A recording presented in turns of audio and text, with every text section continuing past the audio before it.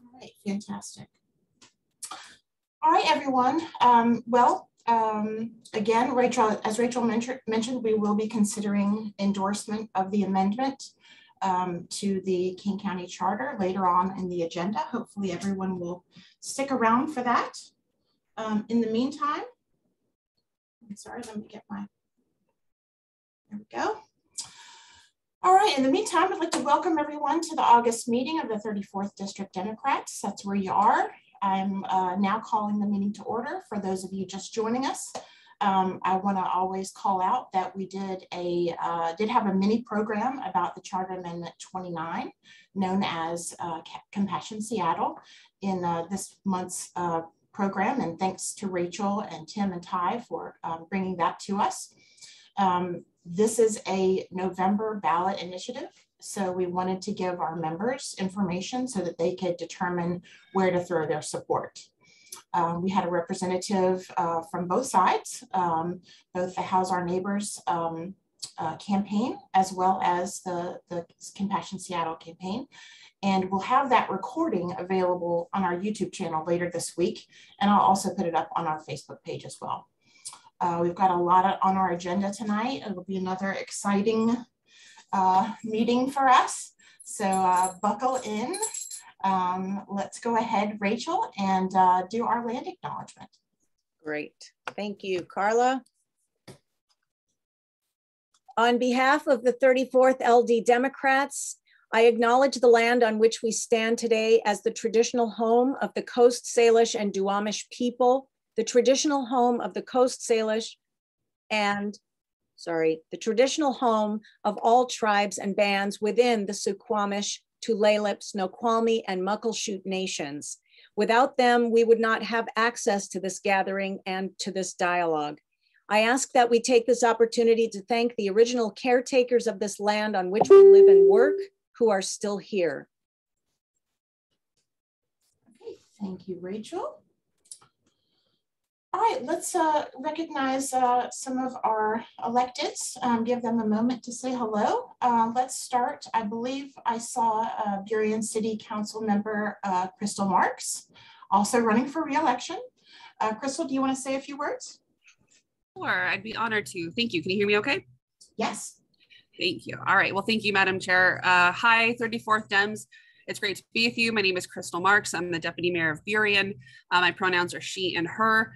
I'm excited to be with you tonight. We are, uh, from a Burien standpoint, we've got a lot going on. Our next meeting is going to be on August 16th, and we're talking about our housing action plan.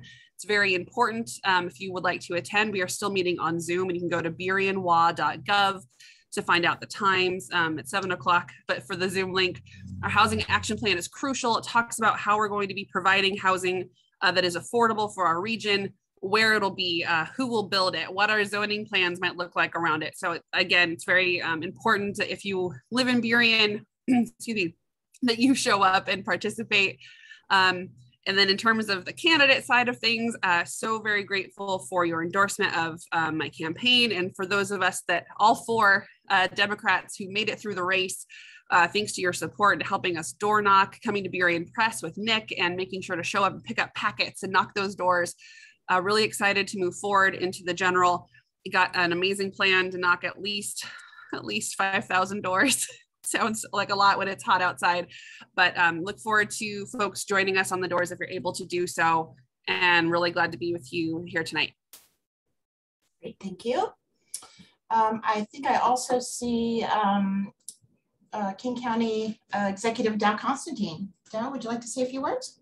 Sure. Thank you, Madam Chair. Uh, thanks again. And this is mostly official report, but thank you for the endorsement of the 34th District Democrats um, and the uh, strong vote of support from the voters of the 34th District last Tuesday. Um, I wanted to just report, uh, following up on the earlier program uh, about the work we're doing in health through housing uh, and more broadly in homelessness. Uh, we've completed the purchase now of 850 units of hotels and other move-in ready sites across the county on our way to 1,600. This is my Health Through Housing initiative.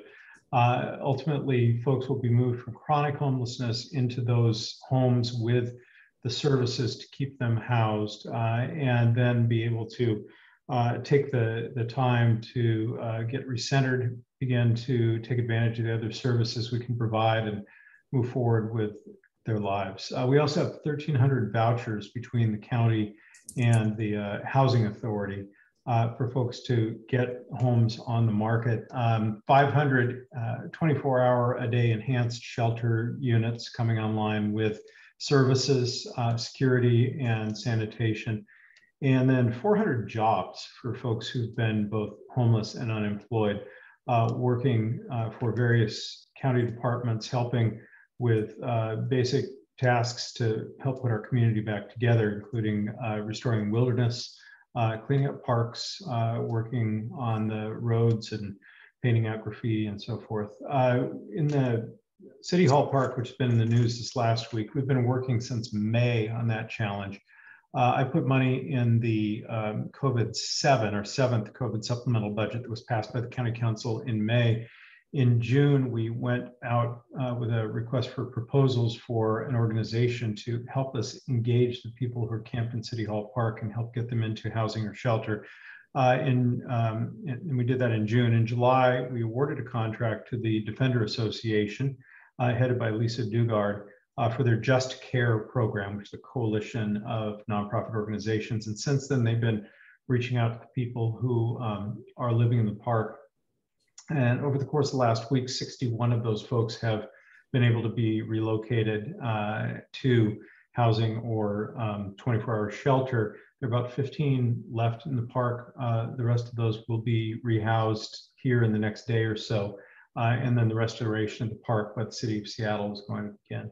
Uh, that is a important, uh, but still, you know, relatively small part of the total challenge. But it is, I think, illustrative of what we're going to be able to accomplish with health through housing. Uh, we're going to be able to offer people, engage people, and offer them the housing that they need with the services that will help them stay housed and not just stay housed, but actually reclaim some agency over their lives. And it's an exciting um, uh, opportunity to really turn the tide on homelessness in our, not just in the city of Seattle, but in our entire county. Uh, very exciting moment. So I want to thank everyone for uh, your support of those efforts. It is uh, not something that can be accomplished overnight, uh, nor can it be accomplished without ruffling some feathers. And in some of the places where we've acquired hotels, people are, uh, you know, on Nextdoor and uh, so forth, saying all sorts of outlandish things. But what we are providing is housing, simply housing with the services to help people who may need it.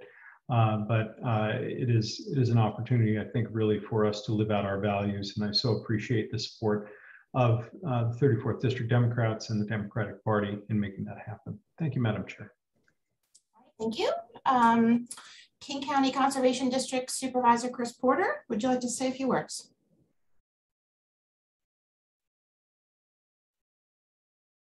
Counting oh, thank you. thank you, Madam Chair. Um, what I'd like to say is there are a lot of exciting things and changes going on the Conservation District. Uh, we have a new chair. I am the new vice chair. We have a new um, permanent executive director. We've had a shift in leadership. So we're going to see some new direction and uh, a variety of exciting things. I'd love to come back and talk to the 34th as I did the 37th about what's going on at the 37th, excuse me, at the Conservation District and the wonderful things we're doing. So we're at that period of time in our uh, growing and gardening cycle where you are thinking about what to do for winter. If you can, leave the leaves on the ground. You'll hear me say this repeatedly. Helps enrich the soil, brings the uh, worms and insects, which brings the birds. All of these um, creatures and birds are on the decline, so we need to do any and everything we can.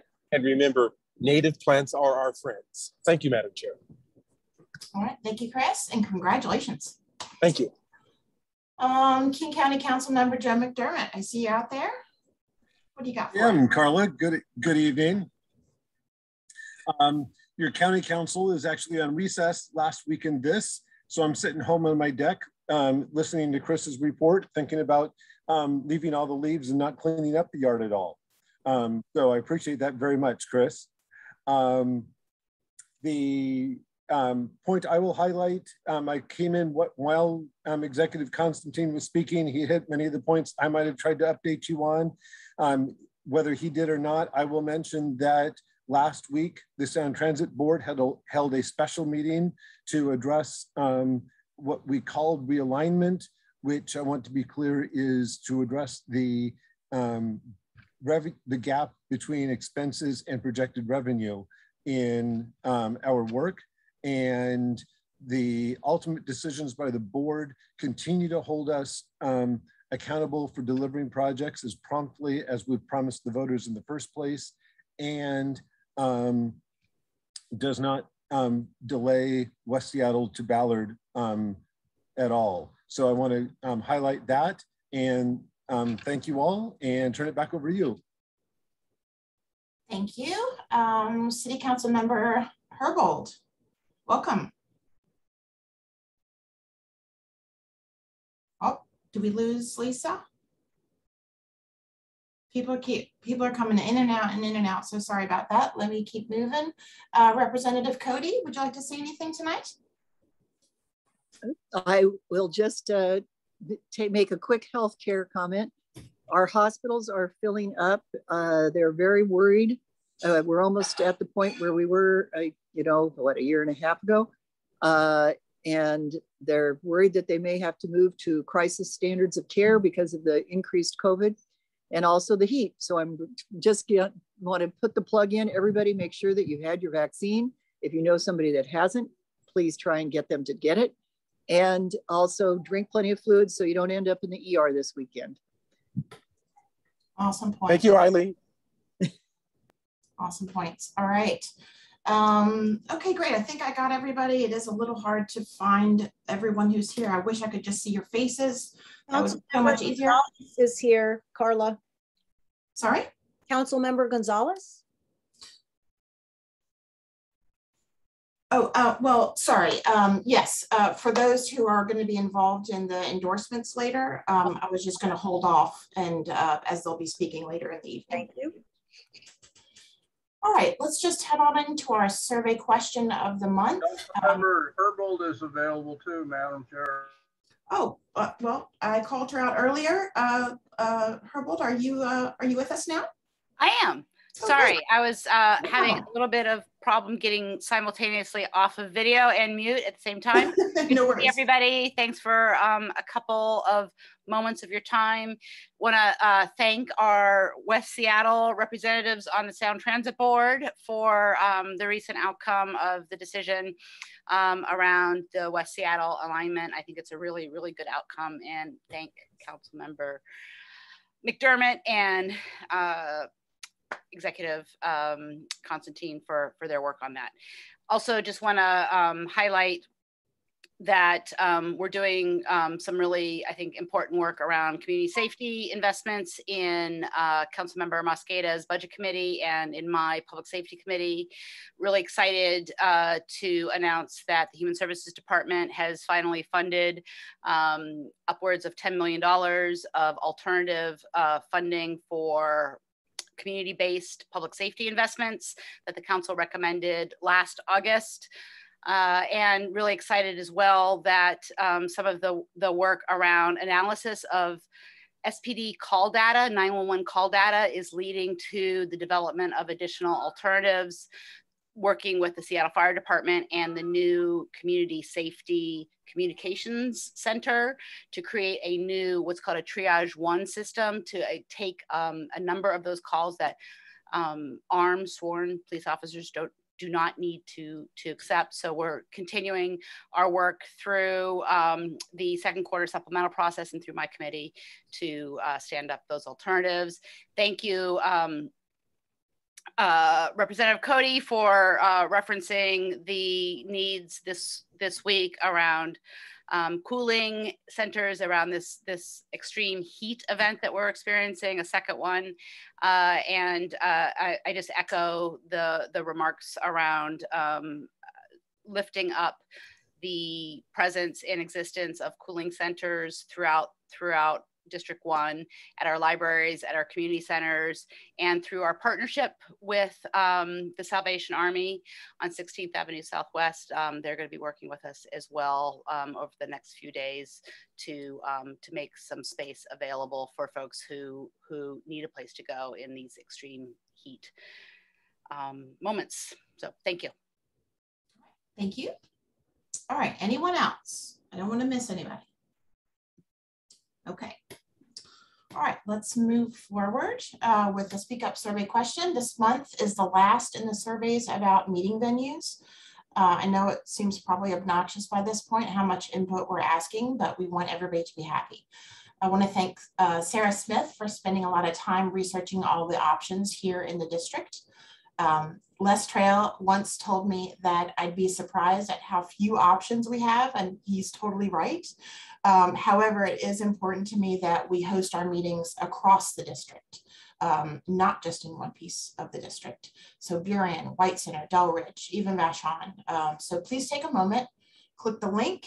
Um, hopefully it's in the chat for you and uh, let me know how you feel about the choices that we have available to us and we will be making some um, uh, uh, more solid plans as we get into the fall. Of course, we're seeing some bad things uh, with regards to COVID. Um, and that will definitely be taken into consideration before we start uh, booking meeting venues. Um, so again, uh, just let us know, um, will, you, will you attend in person at these places or will you uh, continue to Zoom? As always, thanks for speaking up. And now I'll cover our Zoom tips. All right, closed captioning. We've got that straight. Please uh, take a look in the bottom bar. If you need closed captioning, it's available for you. We do pay for this every month, so um, feel free to use it if you need. Next, mute yourself. Please, let's keep order. Um, we've got um, some, some big stuff going on tonight. So I want to be sure that we are respectful of, one another and uh, keep yourself on mute uh, so that we can have a nice clean meeting. Uh, raise your hand. Uh, we are going to ask you to raise your hand for a couple of our uh, things this evening. So uh, be familiar with where that is in your device. Um, it could be in a couple places. So it's either going to be in the participant window or it may actually um, be uh, in, in another area depending on the type of device that you have. So hopefully by now you know how to raise your hand and uh, use that as you need to. Um, chat, um, I, I, um, I, just want to make sure that um, we use the chat respectfully. Um, should not be used to, um, you know, call out um, uh, comments and your opinions. We have debate for that. Um, that is part of our um, process. So um, do use it though to send private notes to the hosts if you if you have problems or questions. Tonight we have Dawn Rains on as well as we've had the last couple months uh, to do any voting help for you. So you can use the um, co-host um, sorry, uh, you can use the, um, the chat to communicate with Dawn if you have issues with your voting. Um, and just be aware that if you try to chat with me, I'm probably not going to see it because I'm looking at three different screens. So uh, bear with me there. Um, all right, tonight, uh, the agenda approval might not go so quickly. quickly. I realize that some of you might want to consider additional endorsements this evening. We have three in our um, agenda, as you can see on the screen. Um, given that two of our endorsed candidates did not make it to the general, um, I understand that uh, we, uh, those of you might want to uh, consider those this evening. In order to, for us to do that, however, we must proceed in a very specific way. A member must move to add those specific endorsements to the agenda.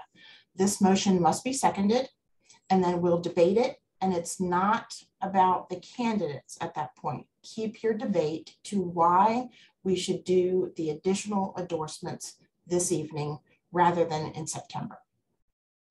Um, just make sure that you uh, limit your debate in that way. Additional endorsements um, may, may be considered with the support of 80%. It's a higher threshold, but 80% of members present and voting tonight. So that's how we will do this, okay? All right, so you see the, uh, the um, agenda? Madam Chair? Thank you, yes. Um, I had my hand up and I wanted to say this before we got into endorsements. Okay. It was a comment. Yes, thank you. Um, it, it was a comment about the survey. I really, really want our members to uh, take into consideration the challenge and the hard work that our um, peers that live on Vashon Island go through and have been going through ever since I joined the 34th, and how considering a meeting over there would be, I think, a wonderful gesture uh, and alleviation of the um, ferry shuttle that they have to navigate each time we have these meetings. And it's just one of those things that I think is makes us a stronger uh, LD when we take that into consideration. Thank you. Thank you, Chris. Took the words right out of my brain. Um, all right, I see Jordan, you have your hand up. Uh, yes, I move that we amend the agenda to include reconsideration of endorsement for Seattle City Council position nine and Seattle City Attorney, considering that our endorsed candidates in these races are not moving on to the general election. Okay, is there a second? Sarah Koch, second. Thank you, Sarah. So that's Jordan Crowley and Sarah Koch. Um, great. Jordan, would you like to speak to your motion? Sure. Uh, so one of the foundational purposes of our organization is to support the election of Democrats to public office. In June, we endorsed two Democrats who failed to receive the support of the city of Seattle. And now in both of those cases, we're faced with a Democrat running against a non-Democrat in what are sure to be extremely close contentious races. If we're going to make an effort to promote Democrats, it's not just justifiable, but wholly necessary to reconsider endorsement in those two races. Should our members choose to endorse the lone Democrats for Seattle City Council and Seattle City Attorney, it's important that we bring that endorsement and offer our support as soon as possible so that our organization and our PCOs can work with those campaigns to take full advantage of the 12 weeks we have between now and the general election.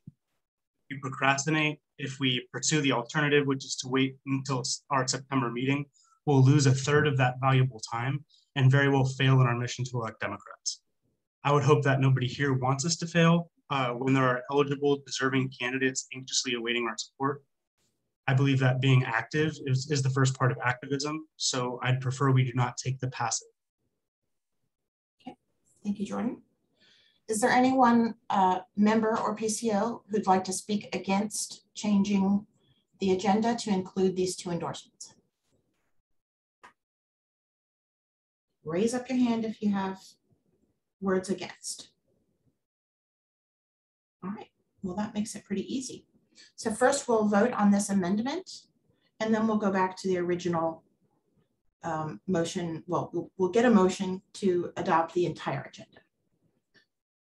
All right, so if unless anybody has issues, I think uh, uh, we can do this by uh, pure uh, voice vote. So if you can unmute. Um, all those in favor of, sorry. Could you repeat the amendment, please? Yes, the, the amendment would be to update the agenda to include two additional endorsements this evening for Seattle City Council position nine and then Seattle City Attorney. That is the amendment to the proposed agenda.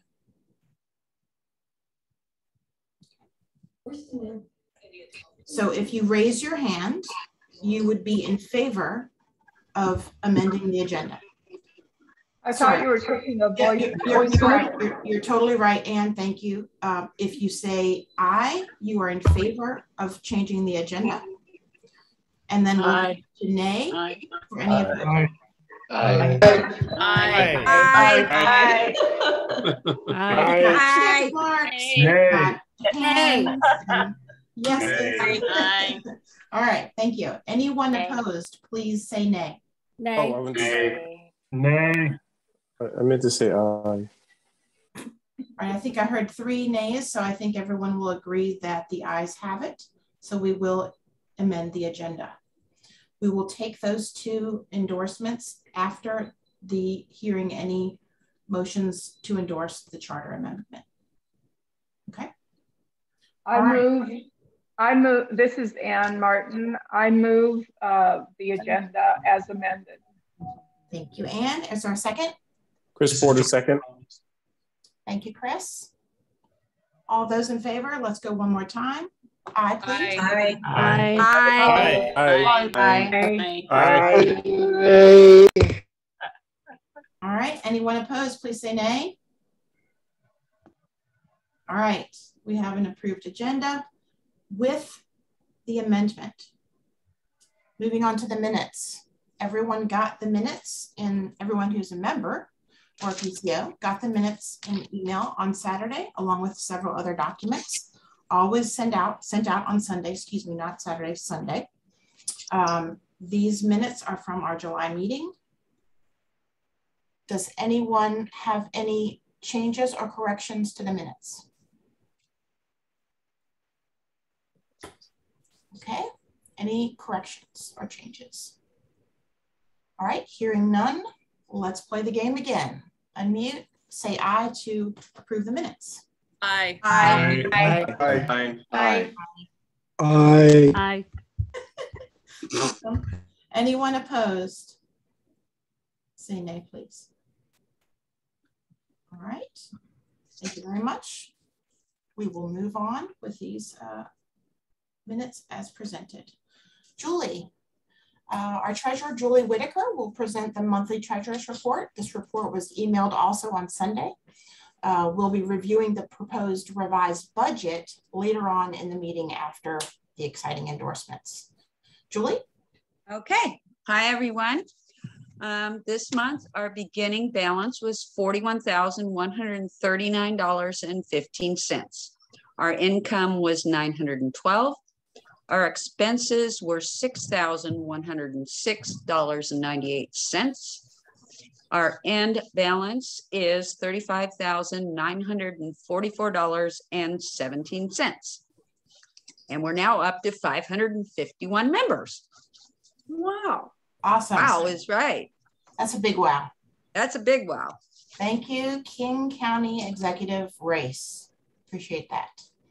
All right. Um, anybody have any um, questions around the treasurer's report? Okay. There being no, none, we'll uh, file this report for audit. Thank you, Julie. All right, um, let's see. So um, moving on to the exciting part of the evening. Um, I know that you uh, may have, uh, with me, been surprised about some of the results on Tuesday. Um, we certainly um, had planned tonight to cover our um, reconsideration of the mayor's race. Uh, we also have a Highline School Board candidate with us tonight. Uh, uh, Jennifer spoke with us uh, last month and we'll, we will consider the charter amendment. Um, as I mentioned, we'll add those two new, um, the, the two other races to the end. Um, so let's get started with that. I'm gonna get into just a few uh, tips. Just again, uh, we've, we've done this a couple times, but I wanna make sure everybody knows how this is gonna work. Um, problems with voting, two people on one machine want to vote, you need to text your vote to our external vote manager, Dawn. Um, her number is on screen and it's also in the chat um, in the participants pane. Um, any questions about voting? Also, you may Zoom chat with Dawn. All right, endorsement and voting process. Um, just want to remind everyone, our bylaws clearly state that candidates must be a declared Democrat. Uh, we will not be any any any motion otherwise will be out of order. Um, this is something that the state is taking up.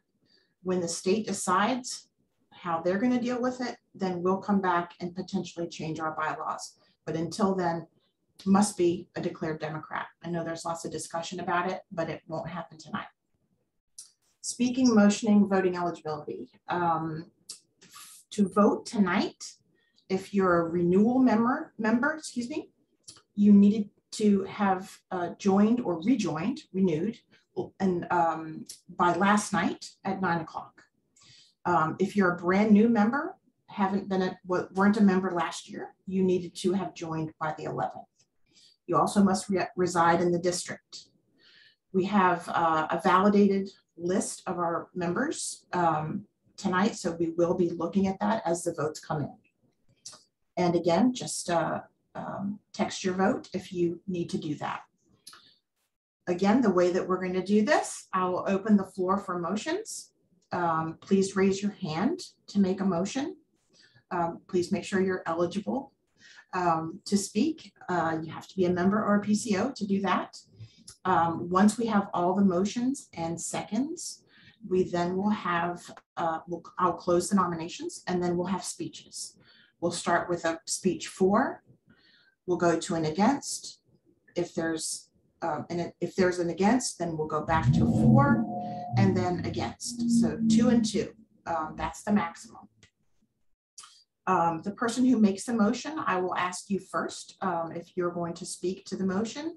You may also um, uh, defer to the, to the uh, nominee if you wish, and you will have two minutes to speak. Um, if you're speaking against the motion, um, you need to be sure, sorry, um, you need to be sure that you're not speaking in favor of the other candidate. Those will be ruled out of order. And I know I screwed that up this summer, not ruling people out of order. So please don't do that because I don't want to have to interrupt you. Just speak against the nomination of that person, um, not for your candidate. Okay. Once all the speeches are completed, we'll do the same sort of ballot vote as we've done the past couple couple months, and that's worked uh, really well.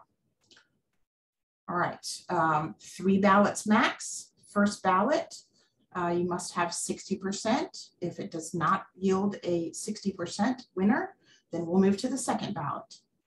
Uh, that ballot will have the top two vote getters, and um, it will not have no endorsement. Um, the third ballot is a choice it must be motioned to do a third ballot, and it's a yes or no vote um, for dual endorsement. Yes or no to dual endorsement. Okay. And of course, that also is 60%. All right. Um, again, raise your hand if you want to make a motion. Um, I I will repeat this again. Uh, most of the candidates have asked uh, certain people uh, to make their motions and their seconds. So don't be offended if I don't call on you. um, it is usually uh, by the request of the candidate. Um, we're going to do this in one minute. We've seen how fast this works. Um, so please be ready. We're going to do it in a minute and it will count down on screen for you. Um, and also those texting, be ready to text right away. It's your responsibility to vote during the window. Um, don't motion for a, a, dual endorsement, please. Um, it's out of order. Same thing with Soul. Um, and obviously, as I mentioned, mentioned um, before, motions to endorse candidates who aren't Democrats are out of order. So don't bother. If you are speaking against a motion, again, you may not give a speech for the other candidate also out of order. All right, are we ready? We're going to start with uh, the mayor's race. Um, I know that uh, I've, okay, great. I've got my two, my two folks here. Let's start with James, uh, James Williams. Carla, excuse me, this is Anne. Uh, are you going to want me to turn on my timer for the speeches? Yes, please. Okay. I'll give you a second to do that. Sorry, I should have called it out, Anne.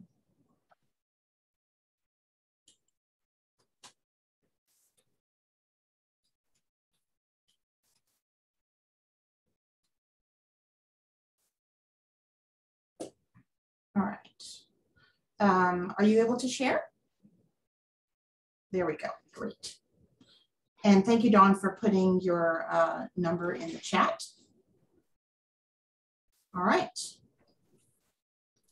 Starting with James Williams. Um, go ahead. Madam Chair, I move to endorse Bruce Harrell for mayor. uh, of the city of Seattle. Thank you. James, uh, appreciate that. Is there a second? Uh, this is Carolyn Ladd. I'll second. Okay, thank you.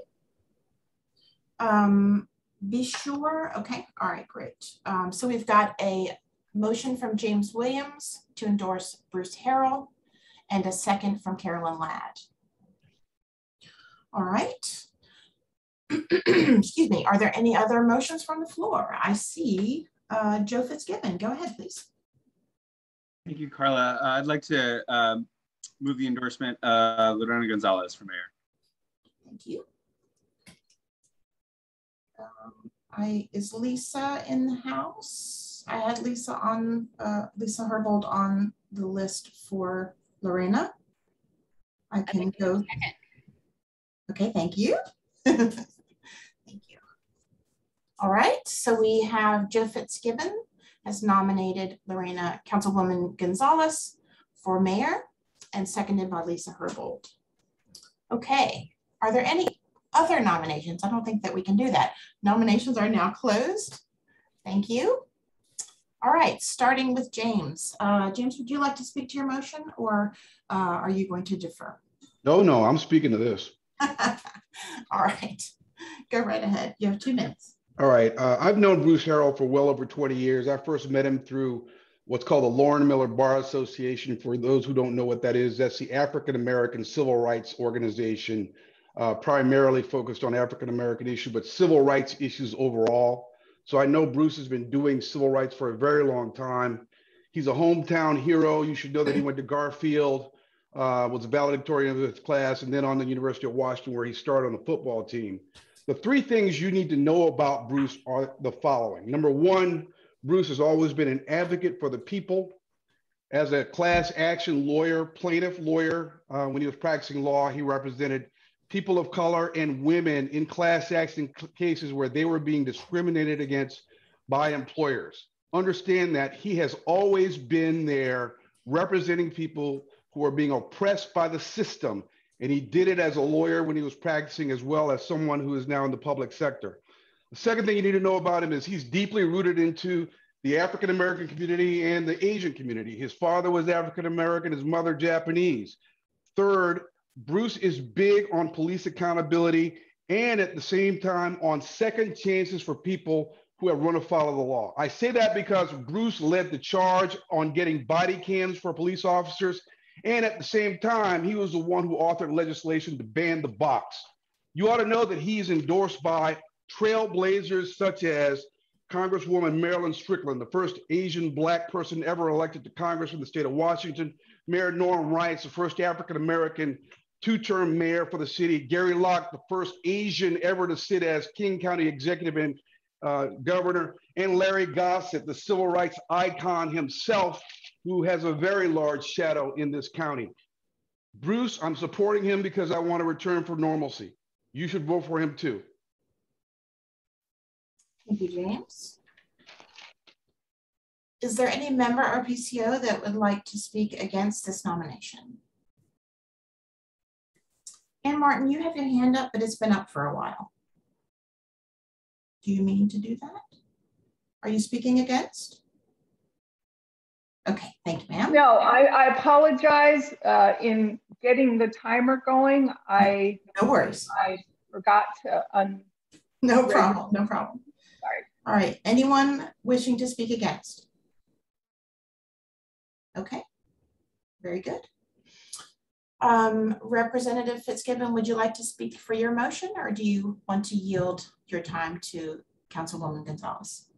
Thanks, Carla. I'll speak very briefly. Um, I um, am honored to nominate Lorena for uh, for our endorsement for mayor. I think Lorena uh, uh, has really impressed me in her understanding that that the big crises facing our city, the housing crisis, the climate crisis, and the the racial reckoning um, that's come in the in the wake of, of George Floyd's murder um, are not separate issues, and that our our solutions to those problems need to be inter, uh, interrelated and build on each other. And so um, that's all I wanted to say, but I would like to yield the remainder of my time uh, to Councilmember Gonzalez. Um, thank you so much, Representative Fitzgibbon, and to my fellow 34th Legislative District Democrats. As a lifelong Democrat, I know that the gap between the rich and the rest of us makes living in Seattle too hard for so many of us. Housing and rent are extraordinarily expensive. Wages are simply not keeping up with the cost of living in this city. And our working families are suffering every day when we don't live up to our potential. That's why I believe we need to ensure that wealthy corporations finally pay their fair share to help us solve our most urgent needs. I'm running for mayor to bring Seattle together, together to build a city of safe, livable neighborhoods where essential services are available to all of us within a 15 minute walk, bus, or bike ride to reduce our carbon emissions. Together, I believe we can solve homelessness by addressing the root causes of poverty and income inequality. That's why my plan focuses on rapidly building affordable housing while providing services and shelter to help the unhoused restart their lives immediately. I'll demilitarize the police, hold bad cops accountable, uh, and expand the civilian community service officer program to uh, improve our public safety throughout the city from being from bringing council together on uh, things like sensible gun safety laws and uh, na- and national firsts around labor standards to helping Seattle small businesses and families survive our pandemic. I am a proven progressive, and that that is a record that I want to build on as mayor, and that's why I've earned the endorsements of so many progressive de- Democrats, including Congressman Pramila Jayapal and many others. Thank you for your time. Hope to earn your support. Okay, thank you. Is there anyone, a PCO member, who'd like to speak against this nomination? Anyone want to speak against? Okay, fantastic. All right, so our speeches uh, are wrapped up. Um, would either of the campaigns want to go in to observe the tally? We can, uh, if you do, uh, you or your anyone from your campaign, if you could send a note to Sarah Koch and she will bring you in. And it will be exciting. Thanks for setting me up. Love you bet. I'm just going right. to show you what to do next time. That's fine. I was going to open the window. Oops. Oh. Which one open? All right. I think oh. everybody needs to go on mute. All right. Um, okay, great. Um, Jordan, if you uh, uh, would like to launch um, our poll there, we will take our first ballot.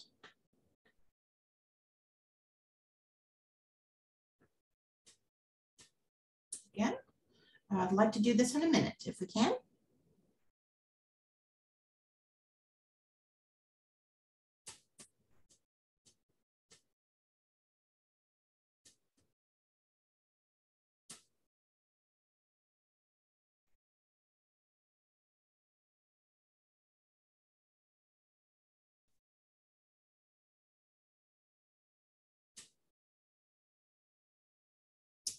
80% participation. Let's get that number up.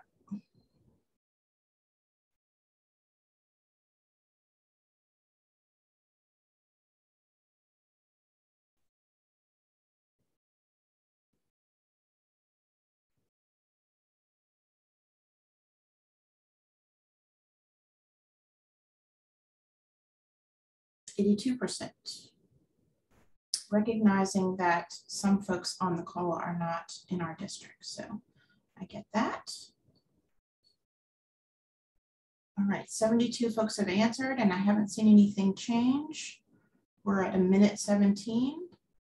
So I think we can go ahead and close, uh, close down the poll.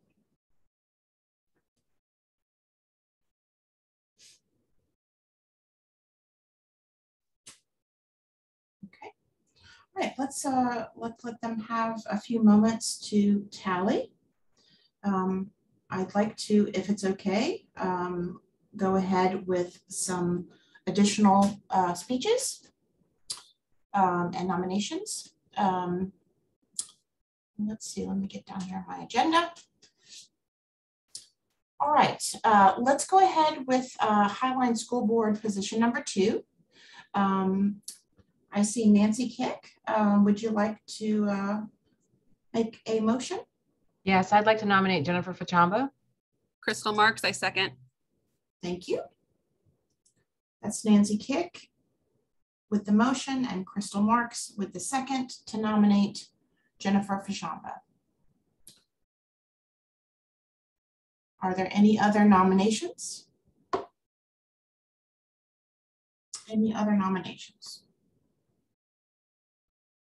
All right, hearing none, I will close down nominations. Given that we only have one nominee, I'd like to suggest um, um, that after we have our uh, uh, speech, our speeches, we uh, vote using raising our hands. So uh, be locating that button uh, while we're listening to um, um, the speeches. Uh, Nancy, would you like to speak to your motion? Um, yeah, just briefly, I would like to um, say that I'm nominating Jennifer because she's a leader in our community who knows how to bring people together to solve complex problems.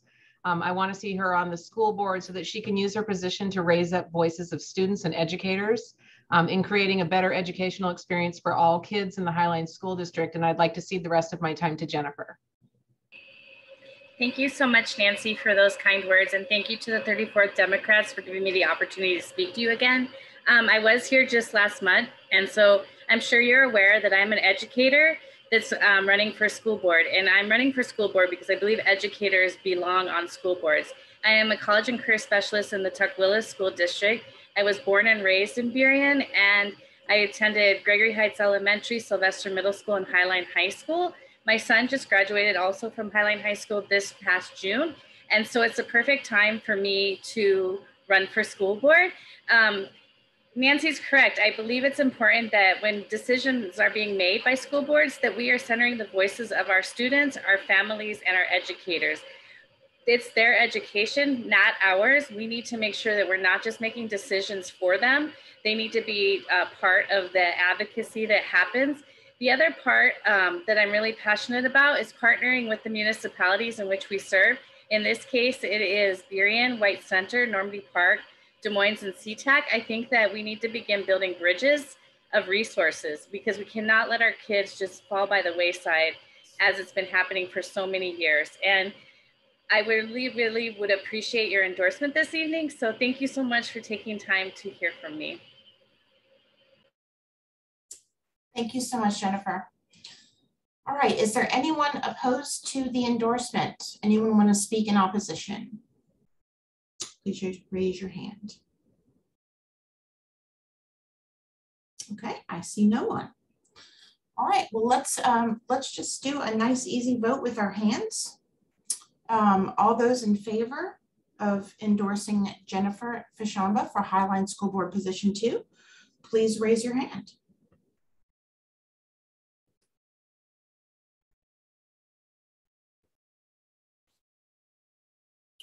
I need to get to about, okay, of those voting, we are clearly in, in, in uh, favor. Um, Jennifer, congratulations. You have our nominee, you have our endorsement. Thank you. Thank you so much. All right, excellent. All right, earlier this evening, we had a uh, very lively uh, program before our meeting started. Um, and um, I, I, specifically had that uh, as part of our, um, uh, or the early part of our meeting, because I do want to provide you know, those of you who are voting um, information. And I think we got a lot of information and a lot of, a lot of conversation there. So um, glad that that came together all in one night. Um, would anyone like to, would anyone like to make a motion? Um, let me let me just be very specific how we will be doing this.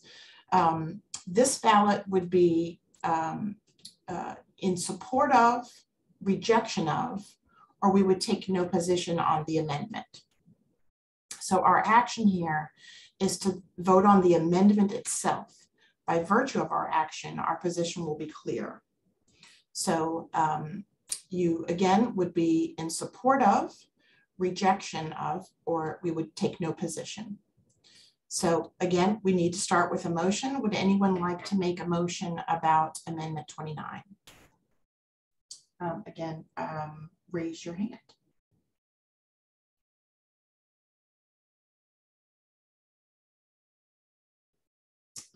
Julie? No, I'm unmuted. Um, yes, I would like to make a motion that we support the Compassion Seattle Charter Amendment 29. Okay, thank you. Is there a second? Second. Who seconded? Cody. Thank you, Eileen. All right, so we have a motion on the floor to, to in support of the Charter Amendment 29, Compassion Seattle, seconded by Eileen Cody. All right, Julie, would you like to speak to your motion? Well, I um, was at the meeting starting at six and I lis listened to both sides. Um, the main thing I got out of it was that both um, want the same things. What I did, the result I came to was that the charter amendment is actually making the city do something. Um, the other um, homeless thing, um, I'm sorry, I can't think of it right now. House our um, neighbors. Yeah, how's our neighbors? I kept asking, what, but what is that plan? What is their plan? What, how are they going to do it? How, and I never heard an answer to that. And it's so critical that I feel we've got to try to do something. At least this way, the ball is rolling and they have to live up to it and do something. So, yes, um, there's a lot more that needs to be done. And she had many, many valid points. I just think that if we can get it started, I don't see why they can't work together and actually get something accomplished. Otherwise, nothing gets done and it, it just stays the same. And I don't think that's right. I think we should do what we can to get something done. Okay. Thank you.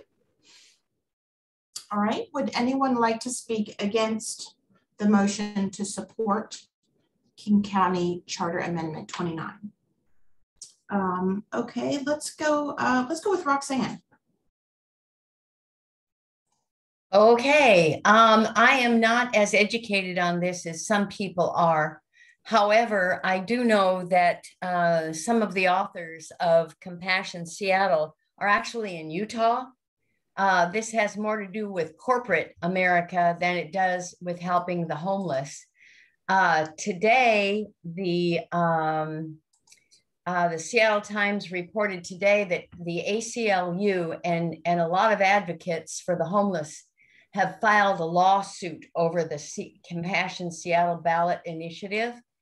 And there are uh, a number of reasons for that. Um, uh, part of them is um, it's more focused on clearing the streets than it is helping the homeless. And um, uh, I'm going to read a little quote from it. The complaint filed in King County Superior Court argues tactics used by Charter Amendment 29 to make the and uh, to make things happen. An amendment to the city's bedrock document, its charter, expires six years, bends Washington law too far and contradicts work on the county level to make the region's homelessness response less Seattle centric.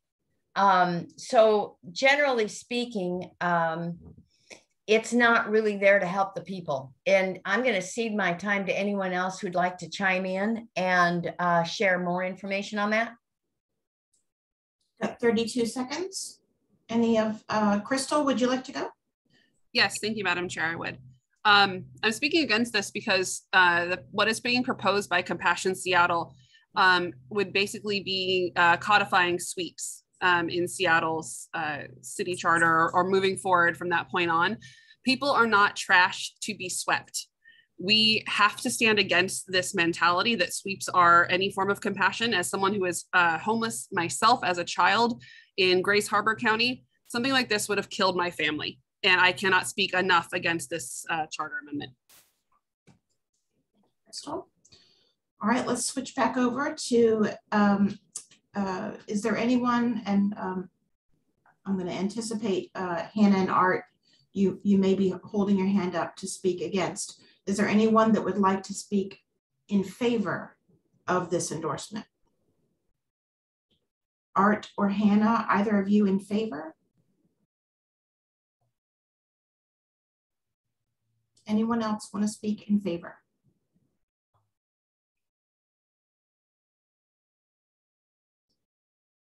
Okay.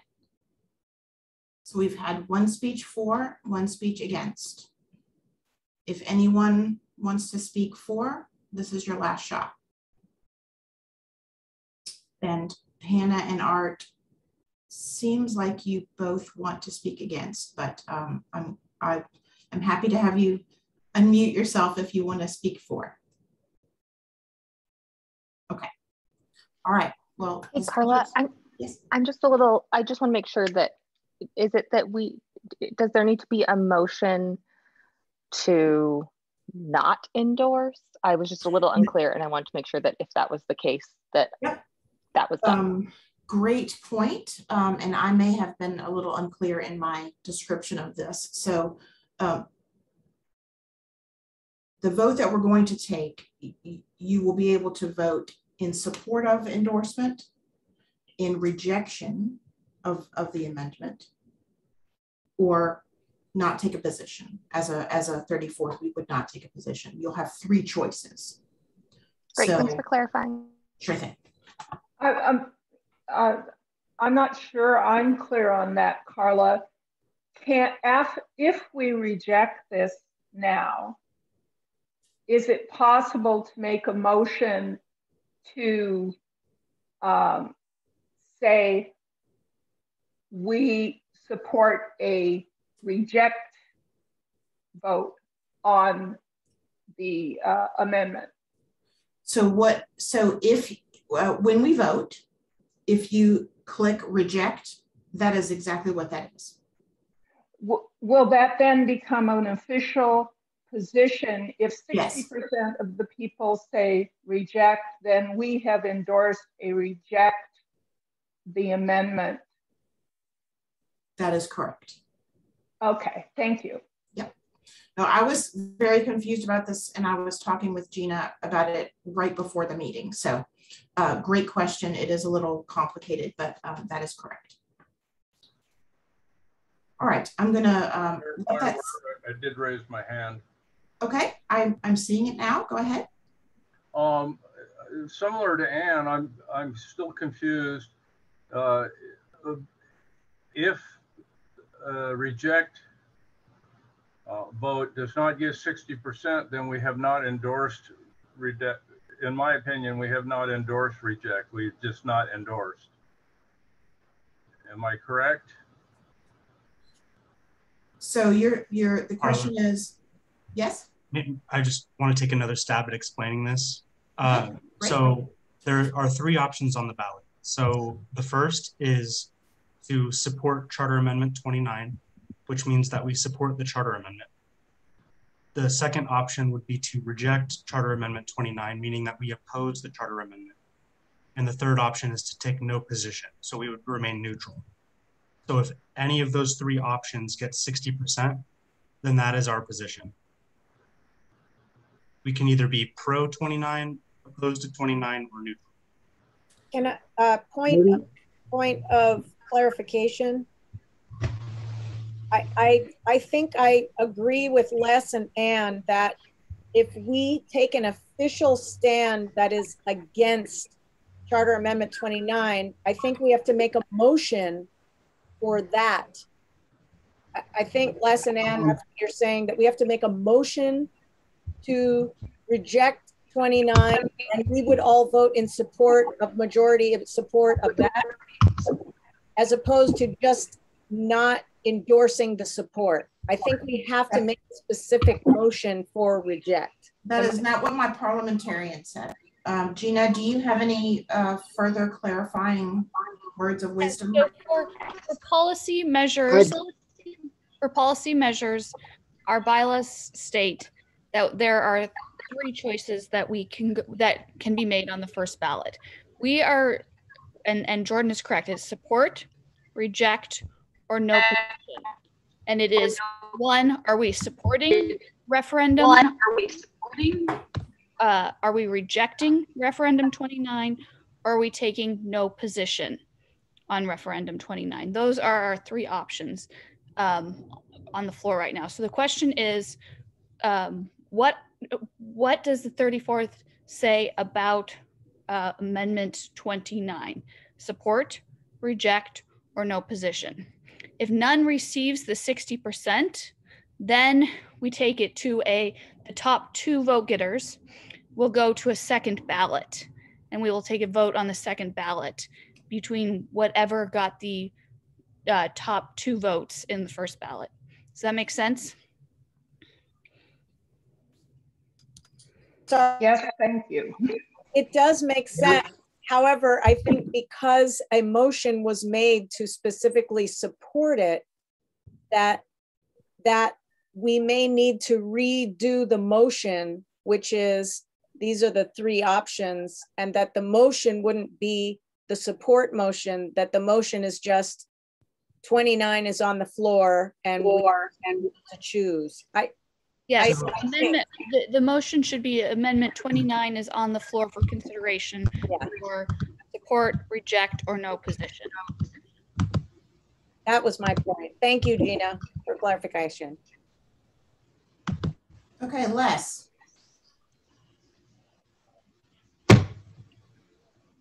I did not have my hand up, but Art Chippendale did. You, you actually do. I will lower it. My, my mistake. Art, I that's okay. So we had a motion uh, to um, support this amendment. We now need a motion to reject this amendment and have that, that spoken to. And then we need a motion to, um, to simply take no position. No. That's not And correct. What Gina was just saying was that what we need to do is go back and amend the motion. So that it's just to consider the, this charter amendment. Have it on the floor for discussion, which we've, we've already technically had discussion, but just having the official motion to be the consideration of Charter Amendment 29, so that we can take a position. We don't need to go into adding debate for other things to add to the ballot. We don't need to treat these as separate candidates. It's We- because it's a policy motion. Is that what you're saying? Because it is a policy measure, we, our bylaws give us, we, we do not need to treat them as separate campaigns. Uh, so they are not Okay. separate campaigns. It is a, whether we decide to support, reject, or take no position on the, on this one vote. Um, which then will align us possibly with one campaign or the other, or no campaign at all. Um, however, we do, I, I would say it would be helpful if we could amend the motion that was stated. Okay, so Julie, would you like to amend your motion, please? Julie. like to. Okay, okay, so I amend the motion to make a motion for consideration of the Charter Amendment 29. Is that Yes. correct? That is right. Thank you. Okay. Good. All right, Chris, you have your hand up. Yes, call the question. And I'll second, uh, just offhand, just to make it, I'll, I'll second the, um, I, I think we already had a second with Eileen, but you're, uh, I think we're okay. Um, Ann seconds the amended motion, just in case we needed it. All right. So first off, let's throw that ballot up there. Again, support Charter Amendment 29, reject Charter Amendment, Amendment 29, or take no position. Those are your choices.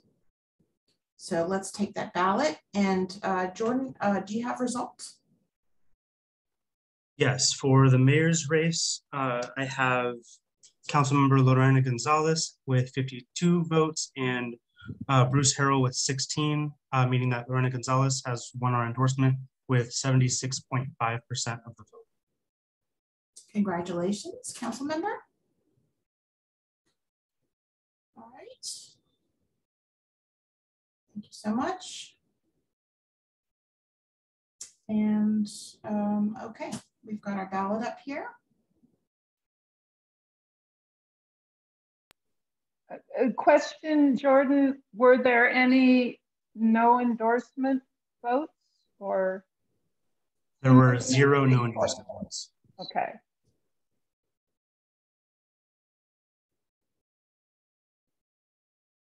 All right, we're at a minute with 69 of 84 of you voting. So I think there may be one or two of you have, who have not yet voted based on the last vote. I'll give you a few more seconds and then we're going to close it down. Um, I just quick question. This is Rachel. Can can we put those numbers, the percentages of how many votes people got into the chat just so that we can see it people missed it? I'd, I'd like Jordan Jordan be able to concentrate on the next ballot. Um, we we report the tally after the meeting. I'd, I'd also like to validate it before we start reporting things out.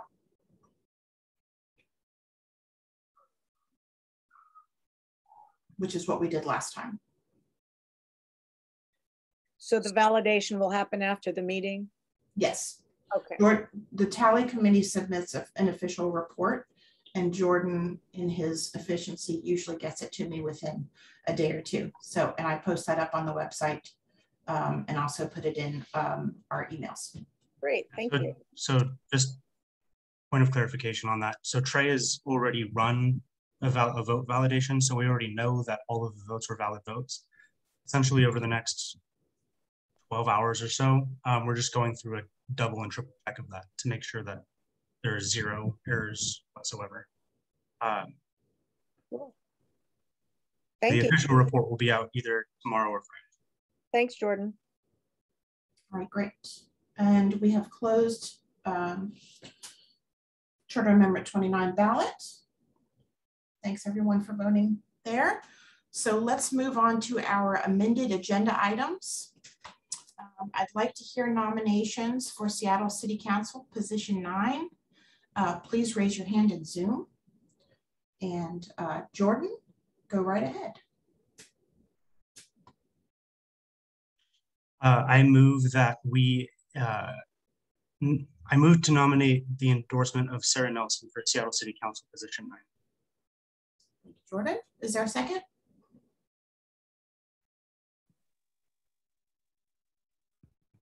I second that uh, motion. Chris Jansen. Thank you, Chris.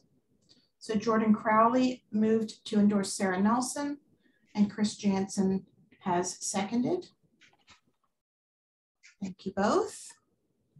Um, are there any other nominations? All right. Hearing none. Everyone listen to my directions. Thank you. All right, nominations are now closed. Uh, Jordan, would you like to speak to your motion? Yes. Hi, everyone. Um, in June, I had the pleasure of nominating Sarah Nelson for our endorsement, and I'm asking again that we support her candidacy. Uh, Sarah has the endorsement of various unions, current and former elected officials, the founder of Mothers for Police Accountability, and the chair of SPD's African American Advisory Commission. Her campaign has demonstrated that a partnership between the people of Seattle, our government, and private industry is just an election away. I said in June that Seattle needs a candidate who adopts and acts upon the principles of activism and justice, a candidate who will approach our social, economic, and political shortcomings with courage, integrity, and dedication, and a candidate who will take bold, unequivocal action to, to stop cycles of injustice and lead a life of progressivism and pragmatism. I believe Sarah to have these qualities. Sarah understands how vital reform is to our criminal legal system, especially to policing, that accountability should not be optional nor occasional. She sees our shortfalls with homelessness and is prepared to manage a model of response based on individual case management, housing fused with services, and real-time provider coordination. Sarah recognizes that progress is a process which pulls us toward prosperity and that it's our responsibility to keep the wheels turning. As a lifelong Democrat, as the only Democrat remaining in this race, for everything she stands for and for everything she has and will come to do for this city, Sarah Nelson deserves our endorsement for City of Seattle, uh, City Seattle City Council position nine. Um, I will cede the remainder of my time to the candidate. All right, Sarah, you have 28 seconds.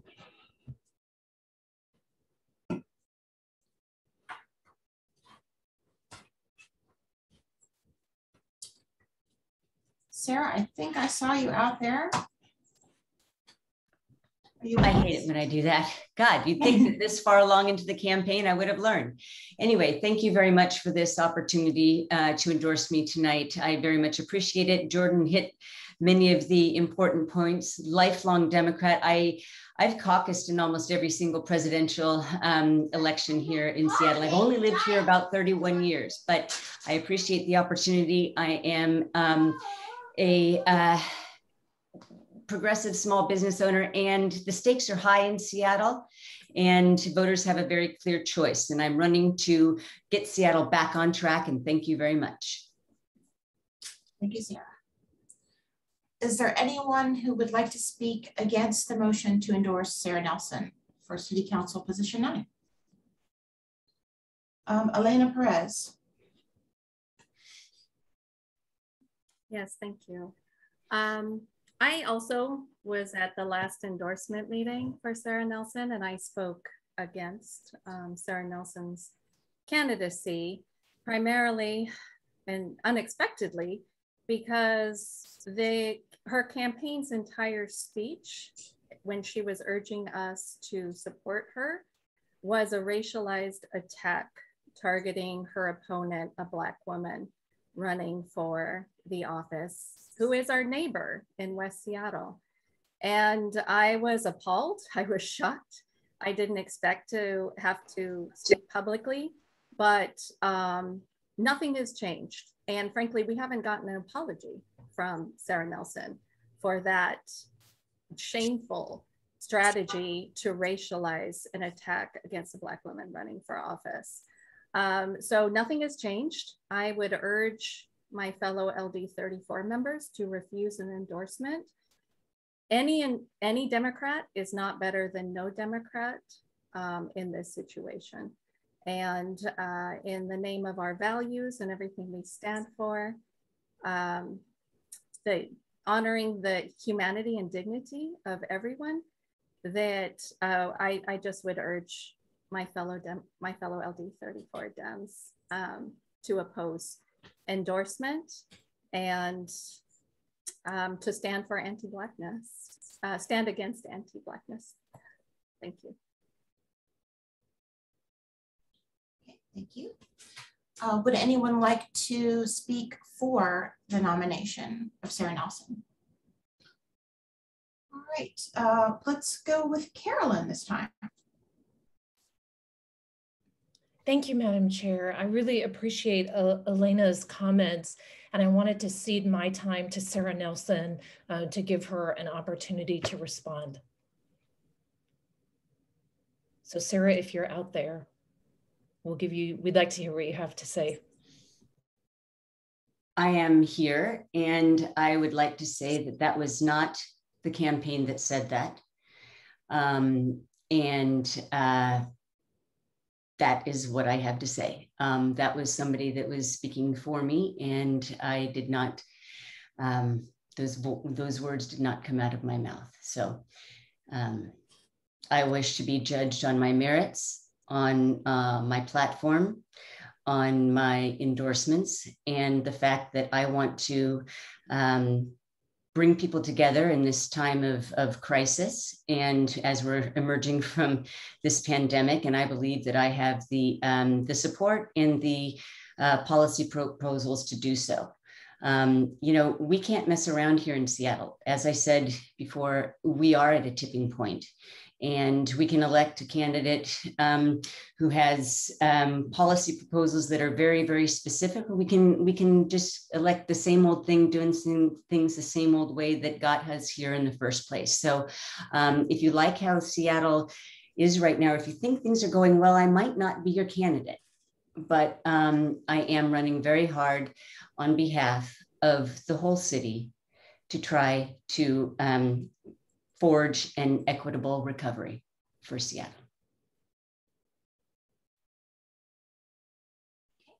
Thank you. Um, let's go back to anyone want to speak against.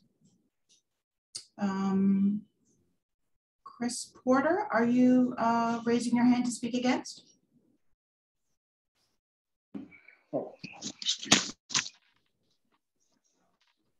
Is that a yes? Uh, I am. Okay. I am. perfect. Hello, You're on. Madam Chair. Yes, Hello.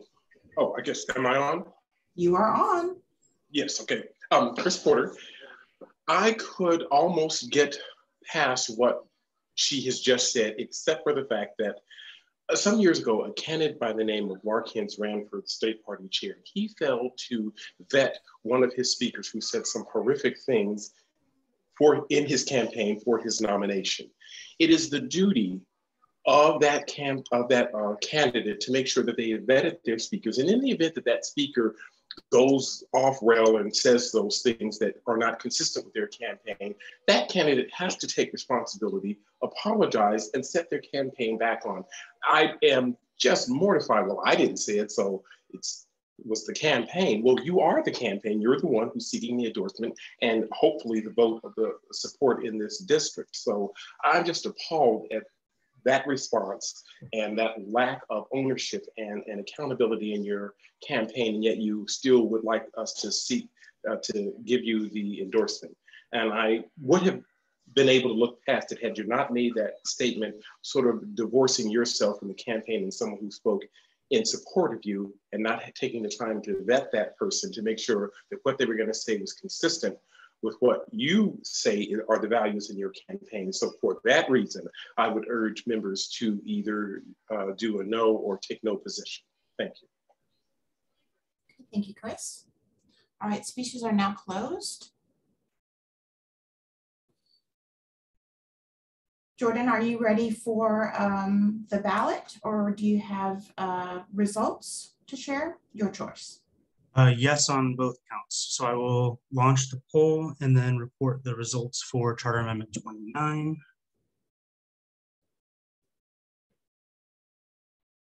Uh, so for the results for the Charter Amendment, um, the adjusted tallies show 12 votes for supporting the Charter Amendment, 46 for rejecting the Charter Amendment, and nine for no position. So uh, the 34th our official position is to reject Charter Amendment 29 with 68.7% of the vote. Okay, thank you. All right, we are, as a 34th organization, rejecting Charter Amendment 29 officially. All right, and um, looks like we have uh, 68 sorry, 62 uh, folks have voted on Seattle City Council Position 9. Let's wrap up the votes there.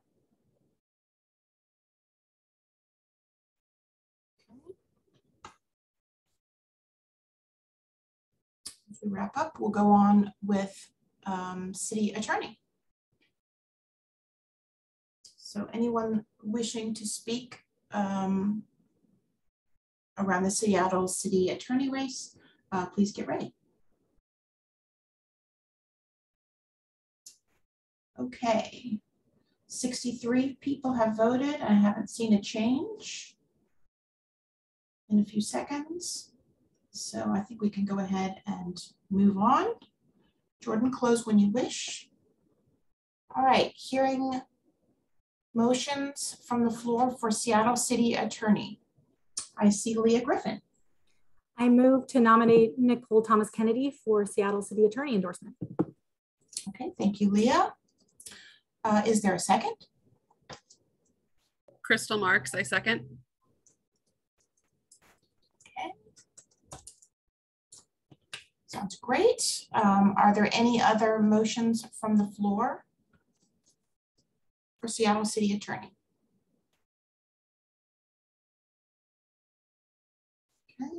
I see, I see nothing. So nominations are now closed. Uh, Leah, would you like to speak to your motion?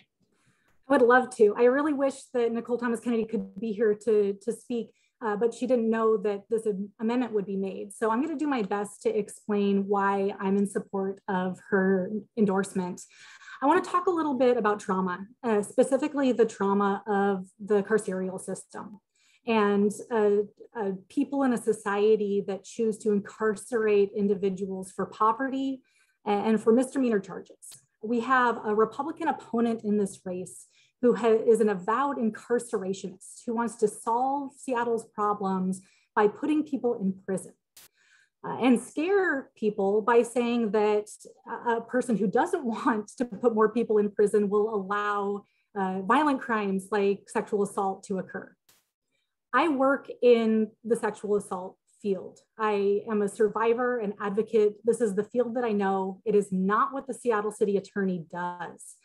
What we have right now is an opportunity to endorse a candidate who is trauma informed, who understands that if we can take resources from incarcerating for crimes of poverty and put those resources into actually healing trauma and solving problems, then we can have a better society. Uh, this I understand because we previously endorsed Pete Holmes that there are a lot of people who are in the middle of this conversation. And I, I hear you. And I want to encourage you as a survivor advocate, as somebody who works day in and day out on violent crimes that supporting a city attorney who is trauma informed and wants to heal trauma as opposed to further traumatize through incarceration. This is such an opportunity for us as Democrats to say, these are our values. This is important to us. We can use resources in a way that will heal people and not imprison them. And I really urge your support for Nicole Thomas Kennedy.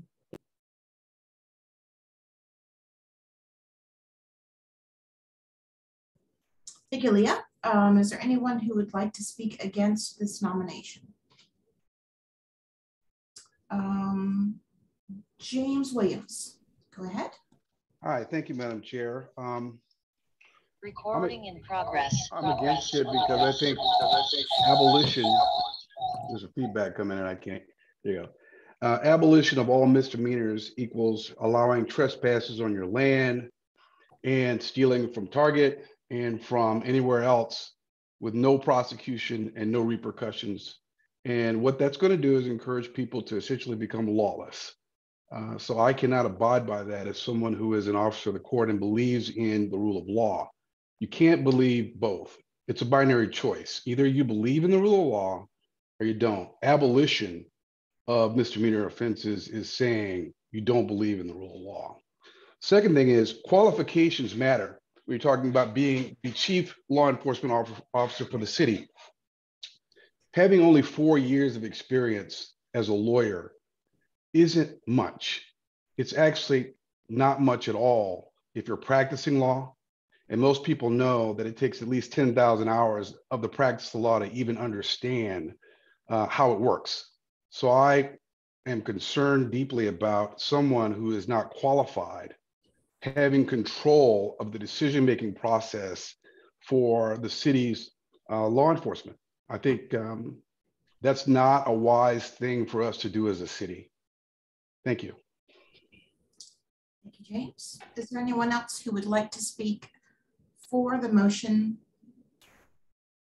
this evening? Roxanne?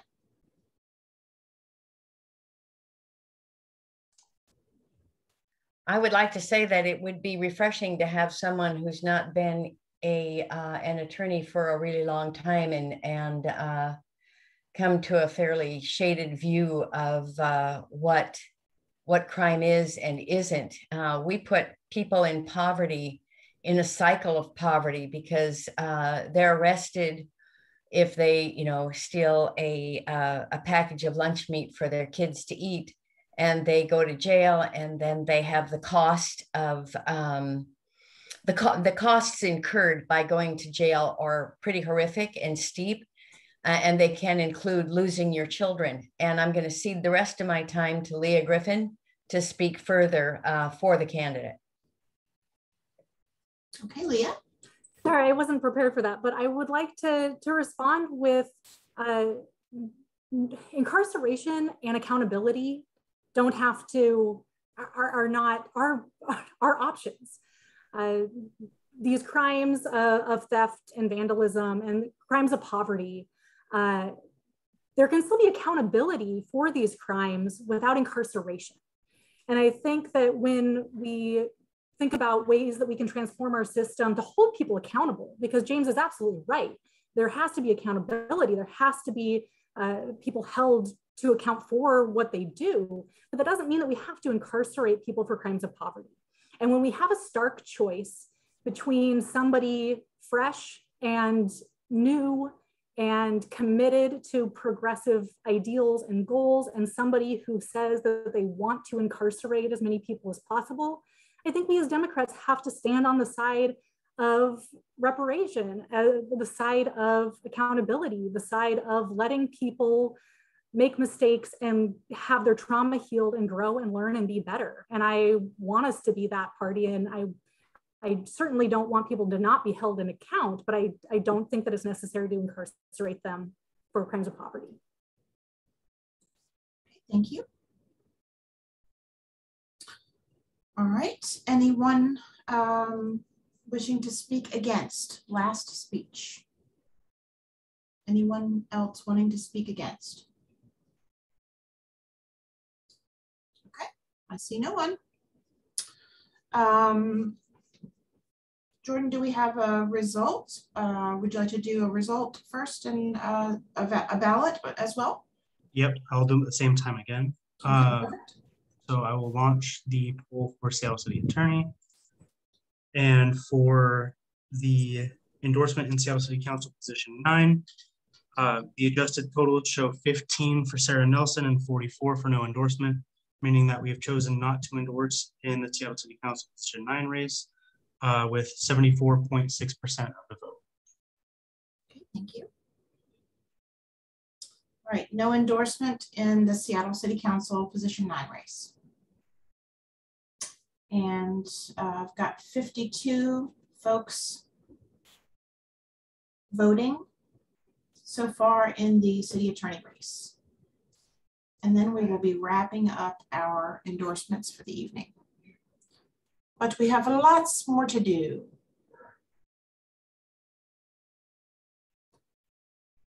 Um, okay. Question. I have yes. a question. Yes. My hand is up. So, uh, is it is it possible for the other candidate, Nikita Oliver, to um, no. present to us? No. No. Okay. She's, she is a, a declared non-Democrat.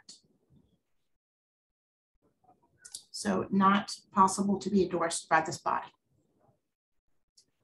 All right, uh, while you guys are wrapping up your voting, uh, 60 people have voted. Uh, seems like a few more of you uh, should be voting. Uh, please wrap that up. I'm gonna go ahead and move on, changing gears to put a spotlight on another great candidate we have in the 34th. Madam um, Chair. Yes.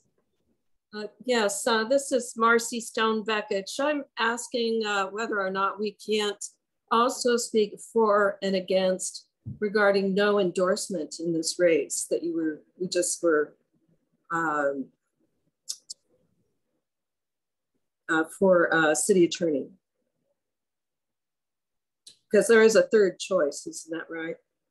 It's a third choice, but it's an automatic option on the ballot. It's not something that's debated. Well, I'm not sure that's true um, because it is it's an option. So far, we've been able to have for and against on the two candidates, I think an option to also uh, do this in regards to no endorsement uh, would make some sense. It's, it's true as per our endorsement rules. It's an automatic option on the ballot. The candidates are debatable. They, they're getting on the ballot is up for debate. No, endor no endorsement is not up for debate to get at the ballot. Um, as I understand it, you are not the um, parliamentarian is the parliamentarian available? No, but I wrote the endorsement rules. Thank you, Marcy. Okay, so the parliamentarian is not available? Um, Gina, are you here? I am here. I'm reading the candidate speech section, so give me just a second. Thank you. The only problem I'm seeing here is that we've already voted. So these, There was a vote on city attorney already? yes. It, the, the ballot has been up for, um, well, it's actually ended and it was up for uh, close to two minutes. Huh, okay, thank you. So I, I don't, I, um, I mean, honestly, I don't know what we would do at that point. Um, I think we kind of have to move, move forward. Uh, Gina, let, let me know when you, uh, Yeah, I think the- when it talks about speeches, it says um, speeches are heard for each candidate being considered for endorsement, not for the no endorsement option. So I don't think that there is a there's a speech for no endorsement. Thank you. Is it, um, is it possible to, uh, receive my ballot again? I'm not sure I received it. Um, um, Jordan, are you able to reopen the poll? I don't see that as an option for, oh, I do. Does anybody have any issues with relaunching the poll? None here. All right, I'm gonna go ahead and do that. All right, so again, um, Yeah, I definitely didn't receive this. Thank you. Hey, Carla, could you please clarify if we already voted, should we be voting again or should we be abstaining? uh, this is, um, I did not realize a relaunch would mean that it would wipe out the results and redo it. So sorry, that's something we've never done before. Um, this is a revote. Um, please go ahead. I'm, I'm not sure, Jordan, do you have record of the last results or did we lose them by relaunching the poll? Trey is in the middle of assessing them now. Um, if Marcy is the only one who did not get a chance to vote, she can always send her vote to Dawn and then we can calculate it in at the end. Instead of Oh, I like that this idea. Well, I, I did just vote in the poll that was just sent to me. Yep, but we'd have to download these poll results, resend them to Trey and sift through to get. Yeah. So if you just resend, if you send your vote to Dawn, then we can just get it in automatically. Yeah, I think that makes sense. Um, So you will ignore the second vote because Yes. hey, some of us are fast since we only have a minute. all right. So were we supposed to revote or not? No, you do not need to revote. We are Okay. using the original results and Marcy is going to text her vote. And anyone else, um, please text your vote if you didn't already. Uh, text that in and that's how we'll roll. Okay. Moving on. Um, Brandon. um, are you, How's it uh, going? you with us? Uh, take a few minutes to tell us a little bit about yourself. Yo, thank you so much. Uh, 34 Dems, it is an absolute pleasure to be sitting here with y'all tonight. Can everybody hear me okay? Can I get a thumbs up for Yes, this one? Looking good. All right, right on. Thank you. I appreciate that compliment. I needed that today. Uh, my name is Brandon Hersey. I am running to retain my seat on the Seattle School Board. I've been on for the past two years. Uh, I recently was appointed to succeed, or at least try my best to succeed, former director Betty Patu. Um, and I have had a wonderful time representing South Seattle and parts of the 34th uh, in Georgetown and, excuse me, in Georgetown and South Park. Um, I am really excited to uh, engage in this campaign for a number of reasons. First, a little bit about me. I'm originally from Hattiesburg, Mississippi. I'm the son of an educator, the grandson of an educator, the great grandson of an educator, and I'm a teacher myself. In fact, my sister te- is a vice principal at the high school where we all grew up uh, before my mother passed away from cancer when I was very young. Um, for the past five years, ever since living in Washington State, I've been teaching second grade down in the Federal Way Public School District. But living in South Seattle, I also work very closely serving as a Scoutmaster for Troop 008, Washington State's first and only African American Scout troop. Um, by serving my boys and living in my community, I have noticed firsthand that our school district was in a time of crisis and at a very stark crossroads, uh, which has only been highlighted and exacerbated over the course of the COVID 19 pandemic. I'm very proud of the progress that we've been able to make in reshifting our system to be focused on student outcomes, uh, what our students know and what they can do, actually tying hard metrics to the goals in our strategic plan, working to bring an end to isolation and reduce restraint in our district, lifting up a participatory budgeting initiative, among so many other things that have really moved the needle in terms of educational equity and opportunity for our students.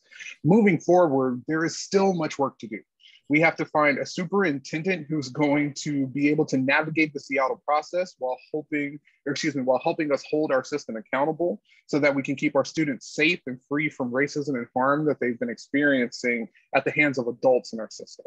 Um, I am looking for your endorsement. I know that that won't necessarily happen tonight, but I believe strongly that together we can create a school district that authentically sees every single one of our students for who they are and that adequately prepares them with a rigorous education that's going to best equip them to make whatever decision comes next for them post their secondary education.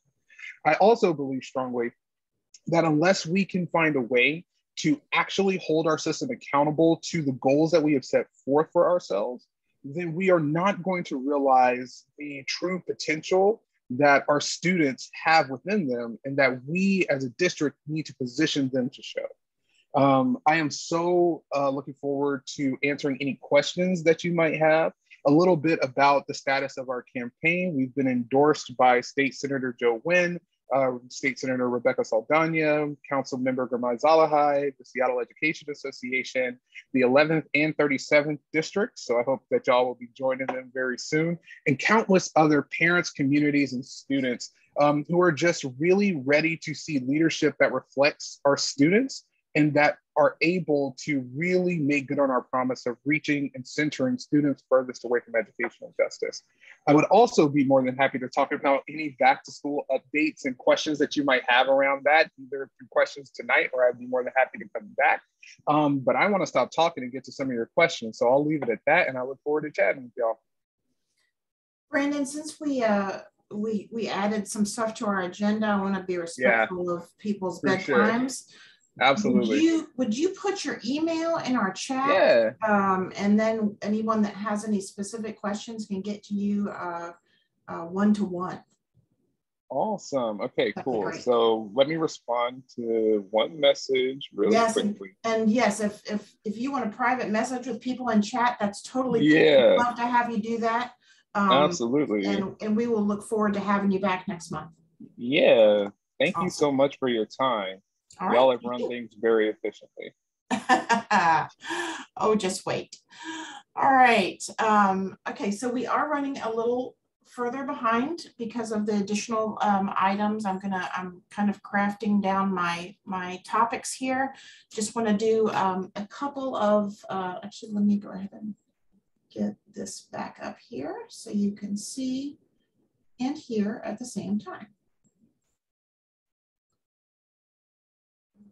That was Brandon. Okay. Um, some, some quick announcements. Um, we are looking for folks to help us with as we go back to uh, in-person meetings. Um, our hospitality committee is merged with our membership committee, and we really just need greeters and folks to kind of help uh, get our uh, venues ready for us and get them, you know, uh, get them straightened out so we can leave for the evening.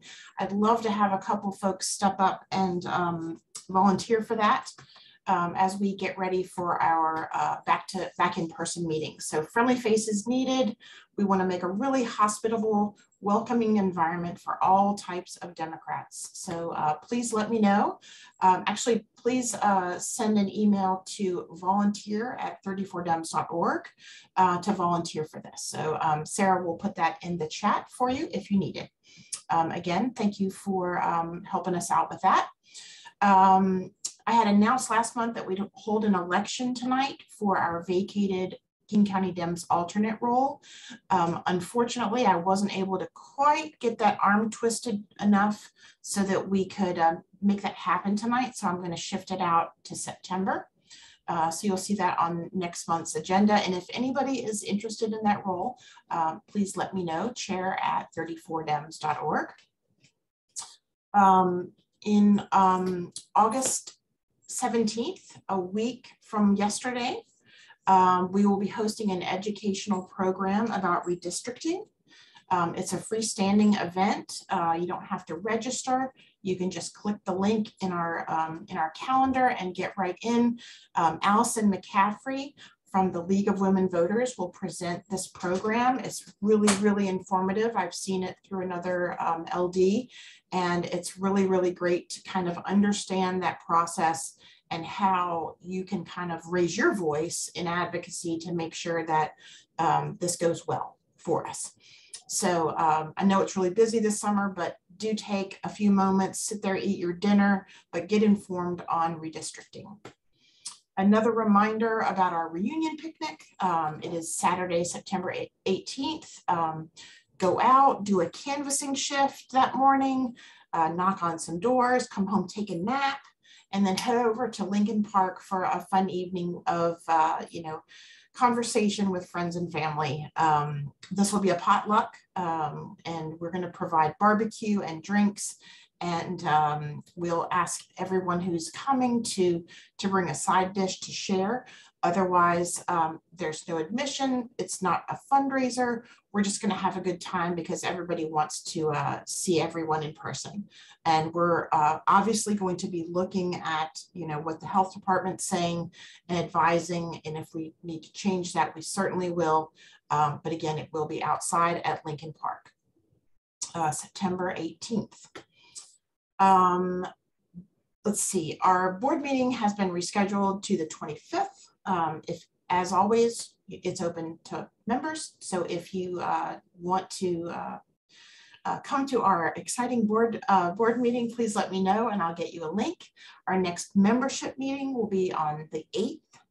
Uh, Rachel is working on a pre-meeting program about whole Washington.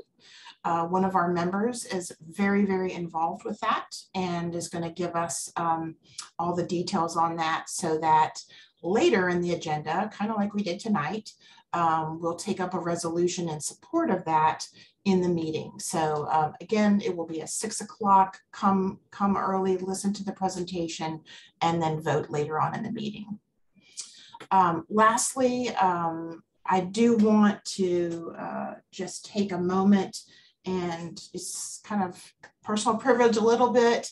Um, White Center um, experienced a, a, terrible fire uh, back in uh, July, on July 5th, the wee hours of July 5th, damaged, uh, heavily damaged eight businesses.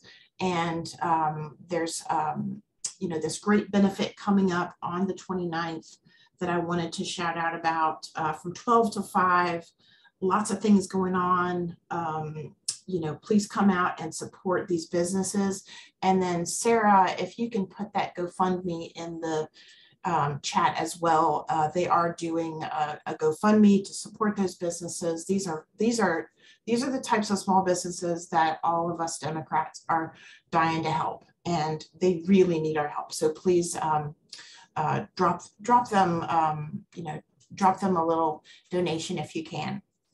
Um, now on to uh, my most serious matter, uh, which is trouble in Burien. Um, you know, it's brewing. Uh, 2017, we had the same situation. Um, and we're really getting back into that same spot. The primary results, um, they're still being counted, obviously. I've put the most recent numbers here uh, so you could see it. Uh, this is based on the Monday night drop. Um, you know, it's it's close, um, but it's really, really clear that we have a lot of work to do. Um, it's really time, and I'm pleading with you all, it's really time for all of us to band together to help the misinformation that's going on, the lies that are that are being spread, and and really this could impact the election and flip Burien back to the dark side. So we can't make we just can't st stand by and, and make that happen. Um, the Burien voice is back in full fire mode um, and spewing their, you know, um, their their uh, their nasty rumors. Um, we saw this back in 2017 when we helped elect the Fantastic Four. Um, we're going to need all hands on deck. Um, I'm asking everyone to do what they can. Um, uh, hopefully Sarah's got the, the link in the chat. Um, if you can please just, you know, carve out a little bit of time, make a donation, knock on doors, make calls, text, whatever you feel comfortable doing. Um, we only have half of our precincts covered in Burien. So there's a lot of ground to cover, but these four candidates are ready to make it happen. I had a meeting with them the other night. They just need your help. Um, so please, please uh, click that link, sign up. Um, and we'll get you in touch with the campaigns directly. Um, and then we're going to be working um, with um, a lot of our union partners to put together canvass events every weekend starting in mid-September. Uh, so more info on that will, will come out as we nail things down. But um, please, in the, in the meantime, click the link, um, get hooked in. Um, we're, we're not going to, you know, bug you to do things that you don't want to do or that you don't have time for, but do something, um, please. Um, all right, moving on to our budget. Um, back in uh, April, uh, we were really tentative about proposing and committing to a budget um, at that point, just because of COVID and, um, you know, we really just didn't know what uh, what you know how things were going to end up. And uh, you know we we were zooming rather than in person. We didn't know when we were going to go back. So we really just kind of brought a budget in that was pretty conservative. And of course it was based on you know what we knew at that time. Um, of course uh, we had no idea we would get a, uh, a, a wonderful influx of membership um, and lots of extra dues that we didn't plan on due to the uh, King County race, King County executive race. And, and now uh, we're ready to propose some updates. And we, we told you we'd do this, uh, and now we're here to do it tonight. Our treasurer, Julie Whitaker, is going to take you through the proposed budget. Um, I did send this all out. Uh, I sent the original, the proposed, and then of course the monthly report as well in that Sunday email. So Julie, I'm going to uh, turn it over to you to kind of walk us through the specific updates um, that we want to make. Carla? Yes. Before we get into that, uh, results for the city attorney race. That'd be great. Um, so uh, for, with the adjusted tallies, including the delayed vote from Marcy, I have uh, Nicole Thomas Kennedy with 40, and no endorsement with 17, meaning that Thomas Kennedy has been endorsed with 70.2% of the vote. Okay, thank you. All right, that is our last result, unless I um, something. Uh, thanks everyone for, uh, for coming back to the table for some more endorse endorsements. Okay, back to Julie. Um, again, um, Julie's gonna take you through this. These are the specific updates, the changes. So it's what we're adding and what we're taking away. So we'll go through all of this. If anybody has any questions, we can do that at the end. Okay, so we have added 12,000 to membership, which we already got with the big endorsement meetings. Um, to fundraising, we added 5,000. For the picnic income, we added 500. We removed 2,500 from miscellaneous small fundraisers due to COVID and the lack of that happening. In our expenses, we added 5,000 in printing for additional walk pieces for the general elections. Uh, we added 7,000 to additional campaign contributions, things how we have this great income, we need to put it to work to do what we're here to do. Um, we added 5,000 to the caucuses and 5,000 to fundraiser expenses. We have the uh, 1,250 for the reunion picnic, which we're all looking forward to. Um, the expenses, again, 2,400 is for a four month rental for monthly meeting venue fees at $600 a month. And um, we had discussed whether we continue with the um, Fauntleroy or not. It is expensive and given the COVID, how many people are gonna come? So as Gina had said, we are looking into other venues that might be less expensive and more out in each um, area. So it's not all just in one place and it goes into each community. We have a thousand dollars for the holiday party and $400 for PCO activities and GOTV activities based on factual expenses. We reduced the speaker fees by 1500 since we're you know, not meeting together and don't have as much of that going on, even though we do get to do it on Zoom. We added uh, $3,000 to the credit card and bank fees due to the fact that that's what we've spent based on the large meetings for the endorsements and we'll probably have more large meetings. We reduced the legal fees by 4,000 because we don't have a lawsuit. And the actual costs of 2020 should be that amount less. We have added 300 for annual awards based on actual annual awards. And we added 200 for the Zoom because of the large meeting license and we had to pay that extra amount. So basically, um, we made more money. We're in better shape at the end of the month with carry or end of the year, I'm sorry, with carryover than we were when we started. And we're doing really well. And we can take all this money and apply it into areas that we actually accomplish something and get people elected and get things done the way we would like to get them done. So I hope you all approve. Okay, thank you, Julie. Is there any discussion on the updates to the budget? Madam Chair. Uh, Chris? Chris Porter? Madam Chair? Is that Chris or yes, I think that's Chris. Yes. Um, someone in the chat put uh, that the bank fees seemed a little high and wanted an explanation. So uh, these these fees are are pass along fees when you take in income when you take in uh, uh, um, income through credit cards. Um, they are uh, they charge the three or whatever percent it is. Um, I'd have to look back and see what our arrangements are, but we did not plan uh, for nearly enough of that in our in our budget. So this is in addition to what is already in the budget now. Um, I I uh, well, Carla, that one month it was over eight hundred dollars in credit card fees in one month. Well, that's a small month, actually. Yeah, yeah.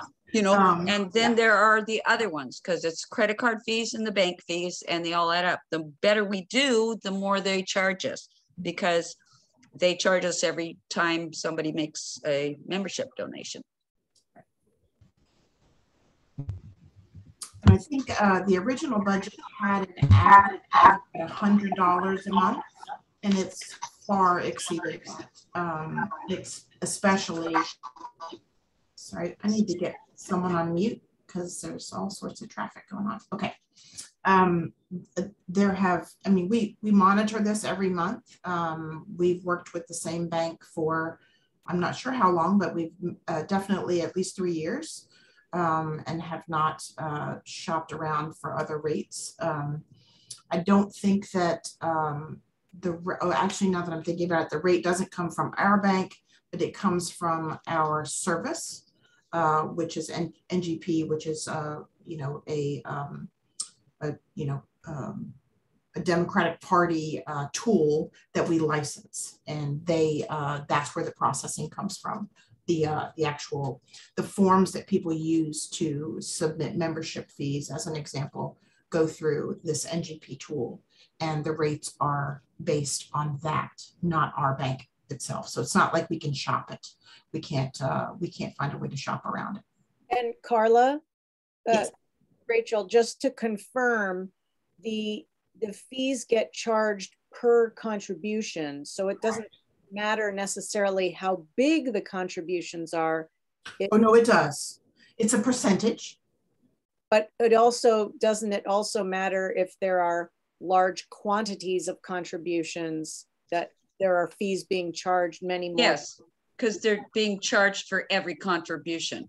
Right, no matter the size. Correct. Okay. But again, it's a it's a percentage, so it's all about how much we take in, um, and that is a it's a flat rate. I want to say it's like three point two percent, if I'm correct. Uh, I might be my, I might be off off by a portion of a percent. But that you know we're we're really just passing that along. We're I mean that's um, there's literally no debate to it. Um, it's not a choice, unfortunately.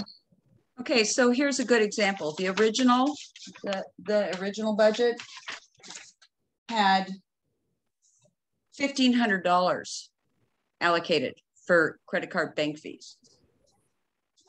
We've already spent over a thousand. and we're only four months into the year. One thing to remember, um, what why this might look different than years past, is that um, every money, every bit of money that we take in right now is coming in through a credit card. In the old days, when we would do a membership drive and it would be at a meeting, people would write checks. Um, so it's going to increase over time because the use of checks is going down further and further every year. Um, and that you, know there is no charge on on the amount uh, for a check. So just kind of part of doing business. Um, Art, do you have a question? Uh, yes, thank you. Um, the four hundred dollars for PCO and get out the vote activities. Can you explain what that is and uh, can we um, can we increase it? Well, it, it's on, to- it's on top of what was already in there. Right. Yeah. Okay. I see. All right. Yes, it's an it's an increase to what It's was an already in the budget. increase. Yes. All right. And we increased it to add uh, GOTV uh, send off events like we did um, um, back in uh, July. Yeah, Empyrean. And, and that really all comes from, uh, you, you should talk to your friend Nick. Because if Nick wants to plan other activities where he needs money, he can ask for budget. You hear that, Nick? Okay. Thank you. Chris, uh, sure. Yay, yay, yay, yay. Chris, anything else for you? You still have your hand up? Sorry, no, I to put it down. Sorry. Okay, no problem. All right. Um, Julie, would you like to make a motion to uh, adopt these updates to our budget? Yes, um, I would like to make a motion that we adopt these updates to our budget.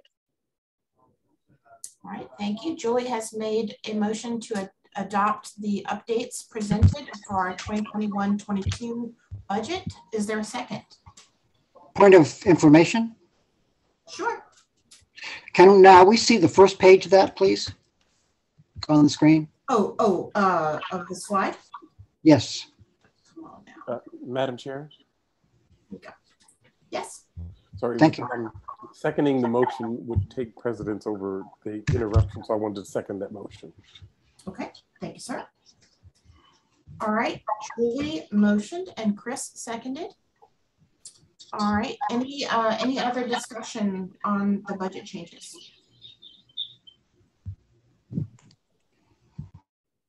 All right. Well, let's do it. Uh, please unmute and all those in favor, please say aye.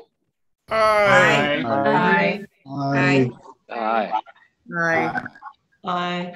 Aye. All right, anyone opposed? Please say nay. Okay, fantastic. Now we get to do something fun. All right. Um, thank you, Julie, by the way. You're Um, welcome. All right. Um, the executive board spent time. Uh, let me get some mutes going here. And there we go. The executive board spent time debating this quite heavily at our last meeting. Um, we really came full circle with this recommendation um, based on what we just did with the budget changes. Um, take a moment to read through the slide. Um, you know, again, uh, we believe that our dollars should go where they will make the most impact. And this proposal, I believe, um, I think we all believe on the board, um, reflects that. Um, just a note, I have these in blue um, because we weren't sure what we were doing tonight. Uh, I had just earmarked those, or I just marked those as potential uh, holds, um, just understanding that we may not uh, use that money. Of course, based on our um, our votes this evening, we do have the $600 um, that is not, oops, sorry about that. Um, we have the $600 for Seattle City Council 9 um, that will then, um, I, I, believe, float back into the reserve. Um, we can then, uh, you know, see what happens with our additional endorsements um, uh, as we kind of go through uh, into September. And we'll come back and figure out how we want or propose how we will want to spend the remaining um, $800. Madam Chair? Yes, ma'am. Oh, hi, Marcy Stone Bekich. Um, I, I, don't believe that we are legally able to uh, put money towards the King County Superior Court races. Oh. Okay. Uh, hmm. And why do you think that? Because those are nonpartisan races and they have very strict uh, rules about what they can do around partisan organizations. Okay. Uh, I've never ever seen this since 2007. I've never seen us make any endorse any contributions to uh, judges. Okay. Marcy, thanks for that note. You're welcome. Um, definitely didn't hit our radar. So I would say uh, Chris Porter. Oh, I was going to say Marcy is a, a thousand percent correct. Yes. Okay. All right. Well, then that actually makes, let's see, six, eight. So that gets us to 950 for reserve. Again, it doesn't mean we don't spend it. It just means we'll take it back, see what we do as far as other endorsements over the next month, and then we can distribute that uh, the rest of the budget at a later time. I'm sorry, Carla, can you repeat the last as to how you got to the where the 950 goes? So we've got 600 plus 150 plus 200. Oh, so you can't do the court either. Okay. Yep. Okay, so both of those. Yep. Okay, got it. Thank you. Okay. So we will hold off on those and then we'll come back with a recommendation for how to spend that at a later point. Um, Chris. Madam Chair, do we still have other pressing pending endorsements that we need to consider that would um, require us to or would prompt us to give money to? Because if that is not the case, I'm thinking we can still do a little more something for uh, three, excuse me, four very close to the vest races, which um, I think would even better solidify how serious the 34th is in supporting our, candidates and neighbors in Burien uh, when we have in the past not been as strong as we could have been. All right, sounds like you want to make a motion. I will say one thing. Um, I would like to, um, since we do have this additional funds, these additional funds, I would like to consider um, reserving something because you know we have a we have a school board race um, that will definitely be um, we'll, we'll, look at endorsements on that next month, um, and I would like to consider at least a small donation for um, the Highline uh, school board candidate that we added this evening. But that's just me. So I'd like to ask if any, if someone's wanting to make a motion, we can uh, certainly hear a proposal to spend this additional money. Um, Madam Chair? Yes, sir.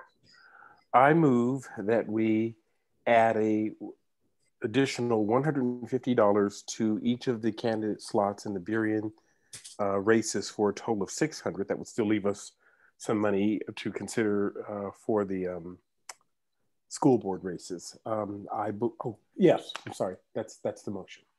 Second. All right, that's there's a second from Ann.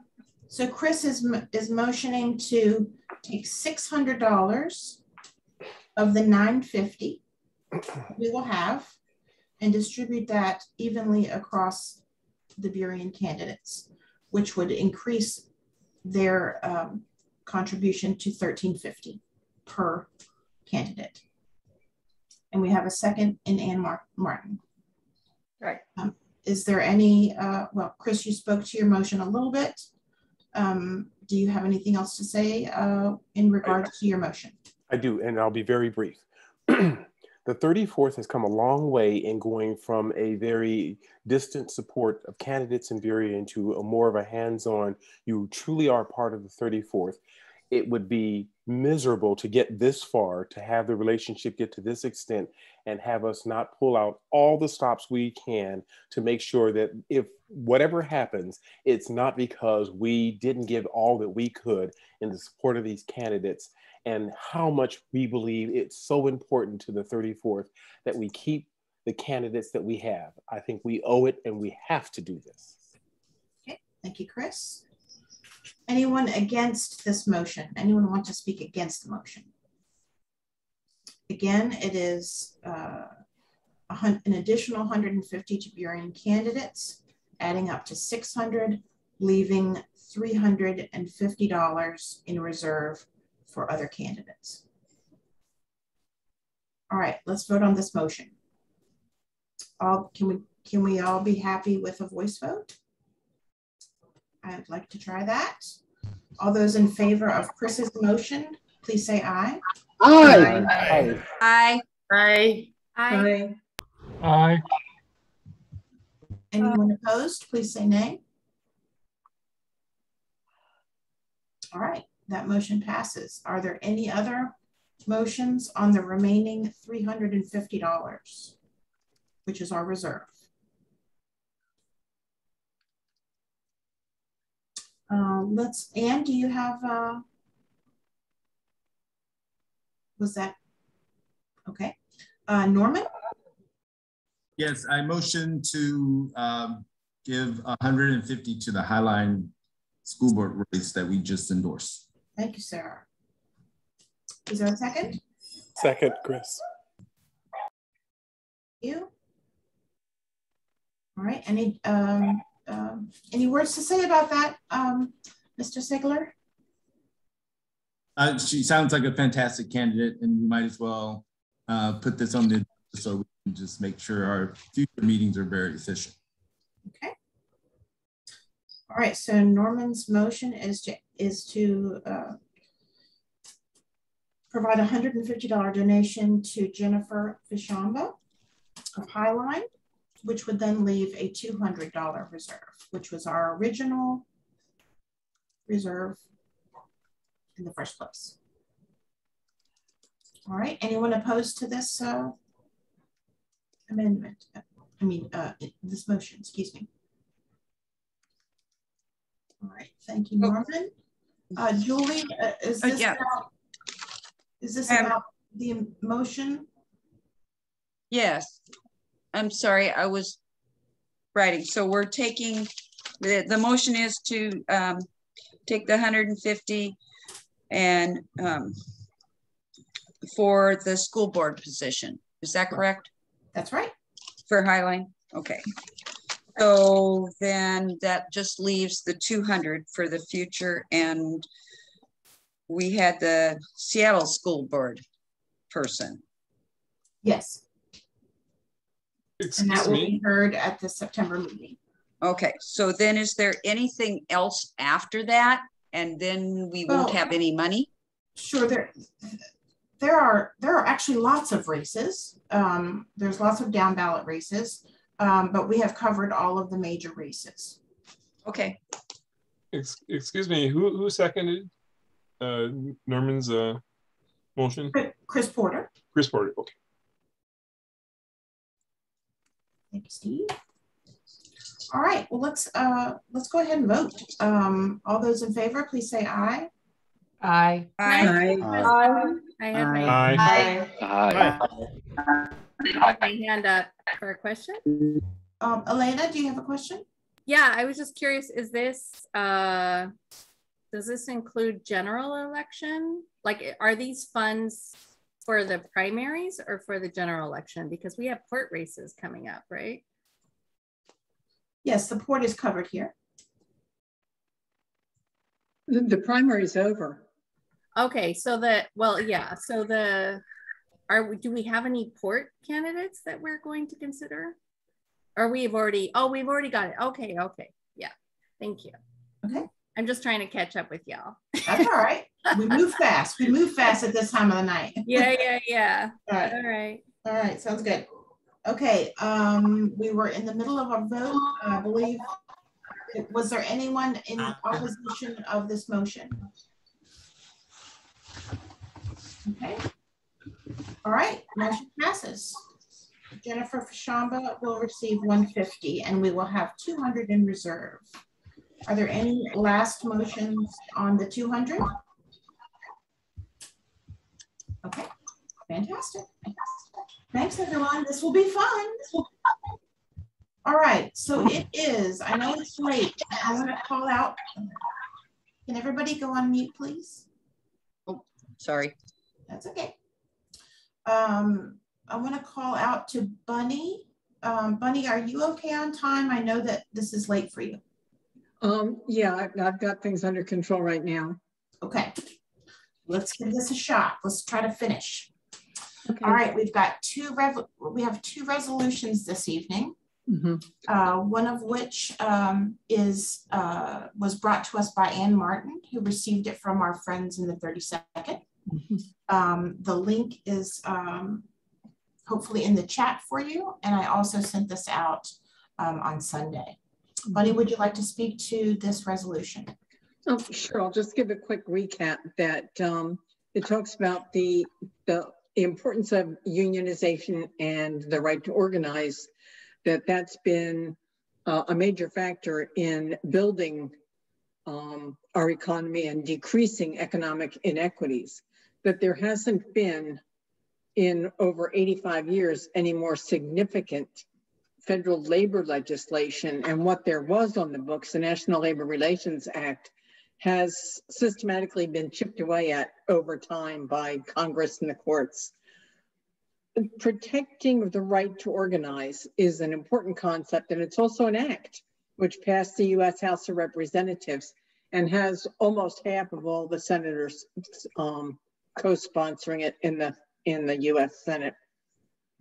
And it would do things like um, override uh, states' right to work laws, um, uh, im- implement a card check, ban captive audience meetings, um, also let independent contractors, I like Uber and whatnot, organize collectively and impose penalties on companies that violate workers' rights. The resolution asks or directs us that we thank our, our US senators for co-sponsoring it and encourage them to rally support from the 60 or more Democrats that will be needed to pass this. Um, and that we ourselves will vocally and publicly support this and send copies of this resolution to our state Democratic Central Committee and various labor organizations. And I'd like to ask Ann to speak to the resolution. So you've made a motion, correct, Bunny? Yeah, uh, oh, right. Uh, I would, I would like to make a, oh, and the committee and the executive board both recommended do pass for this. So I would like to make a motion that we um, adopt this resolution. And I would like to hand off to Anne to speak in favor of it. And, and so I will second. Okay, will thank second you. All right, so, so Bunny has uh, motioned and Anne has seconded, Ann Martin. Uh, Ann, would you like to uh, take over and speak to the Well. I, I think that, um, that Bunny has done a, a great summary. Uh, I think that as we talk about justice and equity, it's important to recognize the role of unions uh, in providing us uh, with a balance to the, um, the big business and the corporations that have uh, basically taken over our system. So I urge people to vote uh, in favor of this resolution and that we let the world know that we support unions and union, unionization. Thank you. Okay. Thank you. Anyone, uh, anyone wanting to speak against um, adopting this resolution?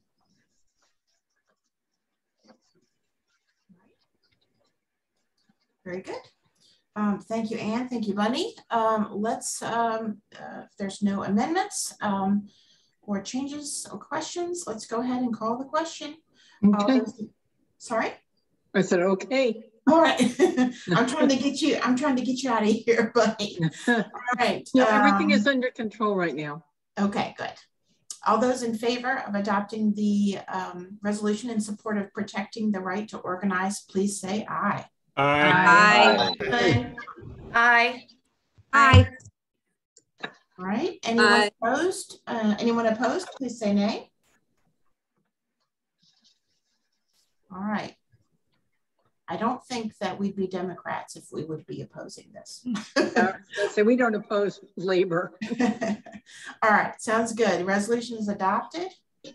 Thank you so much. All right, last thing. Um, Annie and Bunny is, are up for the second resolution. This was brought to you to us by the Environment, Energy, and Land Use Caucus um, by our co-lead Annie Phillips. Um, the resolution on sustainable mobility was sent to you on uh, Sunday, and I, uh, I hope the link's in the chat. This resolution was um, uh, was again uh, brought by the uh, was passed by the committee and or sorry passed by the caucus and then now Andy is Annie is bringing it in uh, for us to listen to. Bunny, do you want to give a, a summary about that? A I'm quick sure- summary. Sure.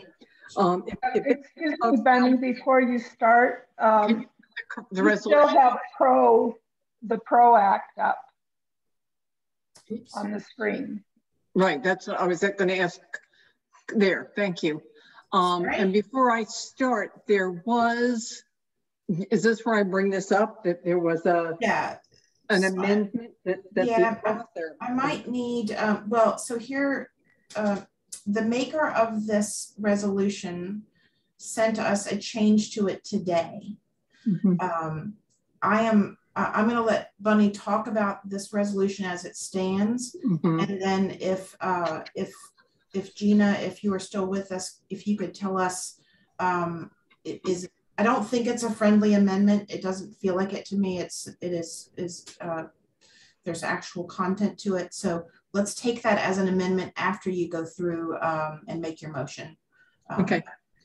Um, it, this points out that, that we are obviously, as we faced yet another heat wave, in a climate crisis. And at the same time, that, and much of that is caused by our use of fossil fuels, that um, we also have deferred maintenance, not just on our roads, but on the infrastructure that would help keep cars off the roads. That we have an unequal transportation infrastructure um, that which has a disproportionately negative impact on communities of color and, and people with lower incomes. That this is exacerbated by our state constitutional amendment limiting gas tax revenues to um, highways. What and that now there are new funding sources of carbon prices that haven't been committed. So this um, resolution asks that we invest in carbon neutral or low carbon um, means of transportation that the, the funds from the these new sources not go toward increasing roads, but instead go to um, non-vehicular mobility and other forms of mobility that cannot be funded by the gas tax. So it's resolved that we that to call for an end just to the expansion of roads at the expense of all these other. Pardon? What? You're good. Oh, okay. Um, and that before building any new, that we have to adequately uh, maintain and repair our existing highways, roads, ferry systems, and that it resolves that the carbon, 100% of the carbon pricing revenue, um, use fees, and expanded car tab weight fees be used to support non-vehicular mobility, uh, transit, passenger and freight rail, bike lanes, and walkable safe streets. Okay, but the, the, the addition, there was an addition that I, I happened to mention in there that pointed out that these are things that at this point are not funded by the gas tax. So I guess that, that is the amendment. So are you also making the amendment? Unless Annie wants to, to Annie, do you want to oh. talk about your amendment or? We, we, all right, so we, so we first have to get a motion on the floor oh. about the oh. resolution. Okay, I would, I would, this was unamended, passed, uh, adopted by the e-board with a recommendation to to adopt. But now we have a an amendment. To, yeah, you don't have to speak to that. Just make the motion. So I would make a motion is. that we pass this resolution. Yeah. And then and and then um would you like to speak to your motion or would you like Annie to? And then oh, Annie. after that, then Annie can make the amendment that she'd like to make. Perfect. Okay, thank you. Um, Bunny did a really good job explaining the resolution. Um, as I see it, this resolution is designed to protect the new revenue that will be generated. Mm -hmm. The Climate Commitment Act, the uh, the carbon uh, carbon fee and trade cap and trade that was an mm -hmm. act that was passed in this last legislature, which was a huge victory, and it will be generating revenue. But we don't want that revenue to go to repairing roads because repairing roads uh, already has a revenue source in uh, the, the, gas tax. so we want to keep them separate, and that's the reason for this resolution. And to, to further clarify that, uh, I just want to add a few words in um, the, the middle, therefore, the one that says, therefore be resolved that the 34th District Democrats call for a true investment in environmentally sustainable mobility. Right here. Down, I've, got, I've got it up on screen. Thank you. And highlighted for you. Great, thank you. I was reading from my printout here. Um, and so I just want to add these highlighted words here, the bolded words that they wouldn't be bolded in, in reality, of course, to, to show that uh, there is a separation here and that um, the, the, the green things are not funded by the gas tax and the gas tax does fund the road repairs and any new roads, but we don't want new roads necessarily. I mean, they may be necessary, but we don't want to rely on roads because uh, when you build new roads, more car, more vehicles come, and it just gets worse and worse. So um, I move that we add these few words here to try to clarify that. Second. That's Anne. Thank you. Thank you, Anne. As opposed to Annie. All right, so the amendment has been seconded. So amendment uh, by Annie, seconded by Anne. Um, any discussion on the amended language? Annie, do you want to say anything additional to the, um, anything additional about the amended language? Well, um, I don't think so. I saw a question in the chat. Hannah says, so does voting for this mean we as the 34th are going on record as being against any new roads? No. Uh, oh, Anne answered that. I don't think that's what the intent is. Rather that funds be committed to other than roads, which the gas tax is funding. Right, exactly. The gas tax is funding the roads, but it can't get its hands on this new revenue that's supposed to be used for green projects, green transport, including green transportation projects that would not be roads. Great question. Yeah. Okay. Yeah, I think is it, it, is it, it's my understanding that these that these new funding sources were specifically passed to fund green projects. Exactly. That that was the promise when people agreed to these new fund to the new funding to the new taxes that they would be used for green purposes. Exactly. Okay. Elena, did you have a question? I'd like to speak in opposition. Oh, okay. Um, all right, well, yeah, go ahead. Anyone in opposition, you're up, go ahead. I love the spirit of this amendment and would totally agree if this policy was indeed generating revenue in the way that we wanted it to be generated. Um, the reality is that cap and trade, I'm, I'm assuming this is cap and trade, right?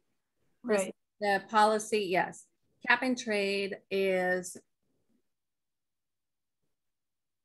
is a policy that has been advanced by big polluters to create, uh, it's basically like a wolf keeps clothing to pretend that we're addressing the climate crisis, we're really not.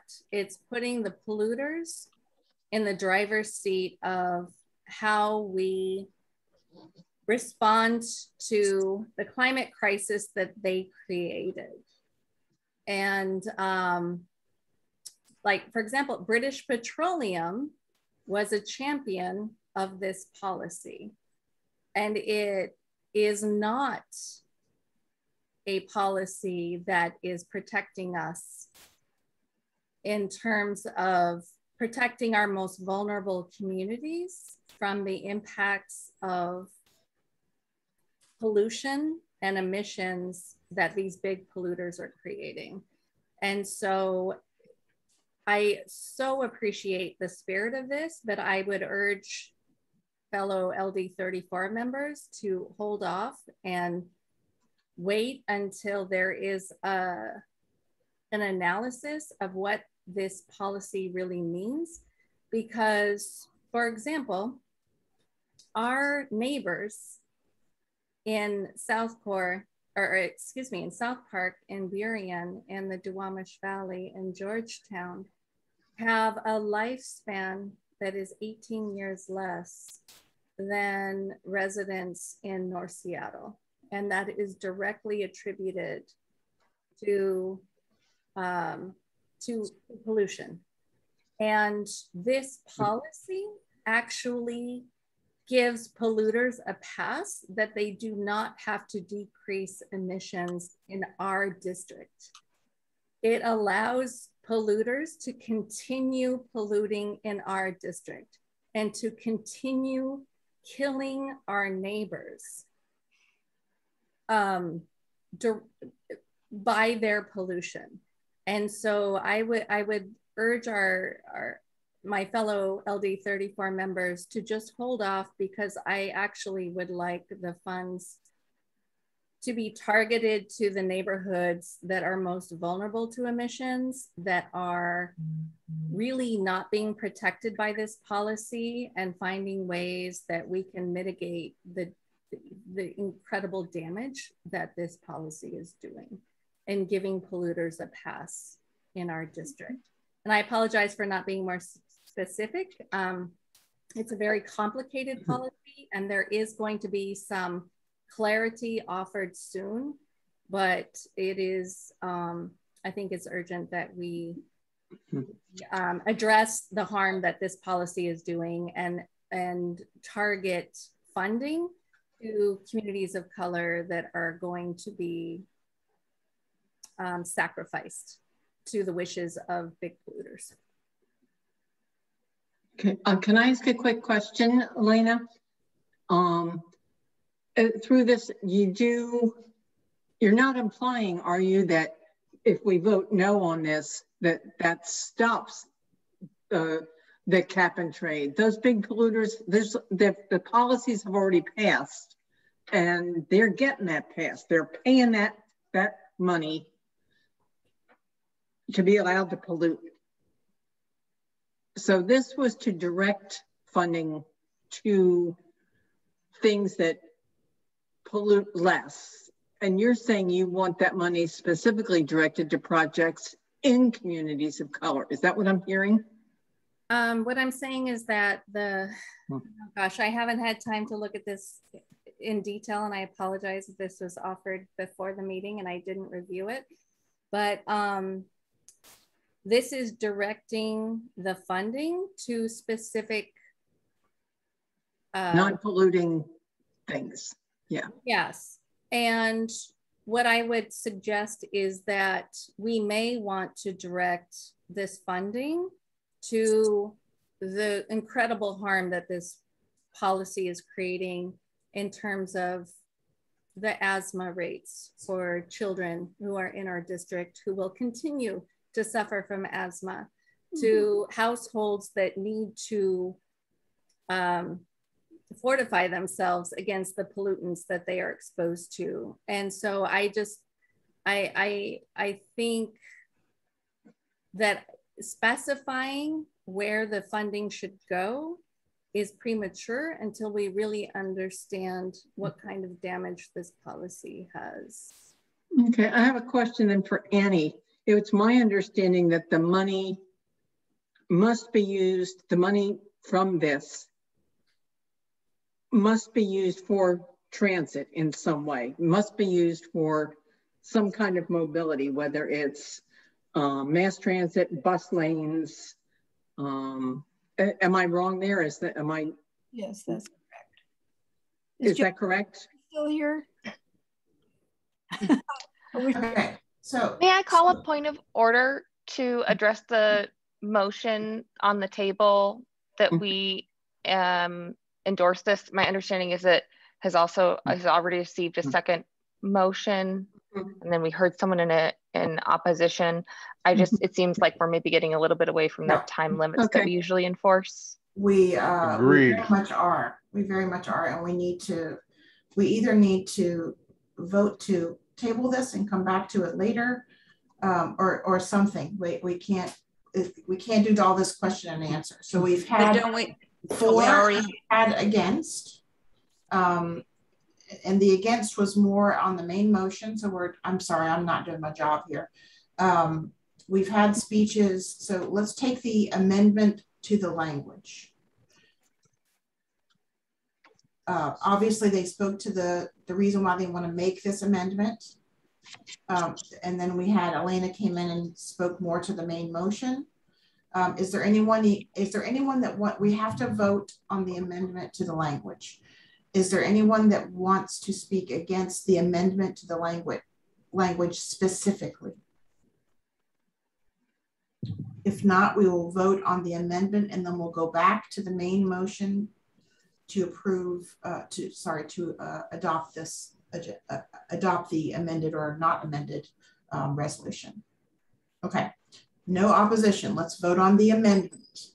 The amendment is from Annie to, to her, um, to the original submitted resolution to add the words that are highlighted in yellow on the screen. All those in favor, please say aye. Aye. Aye. Aye. Aye. Anyone opposed, please say nay. Nay. Nay.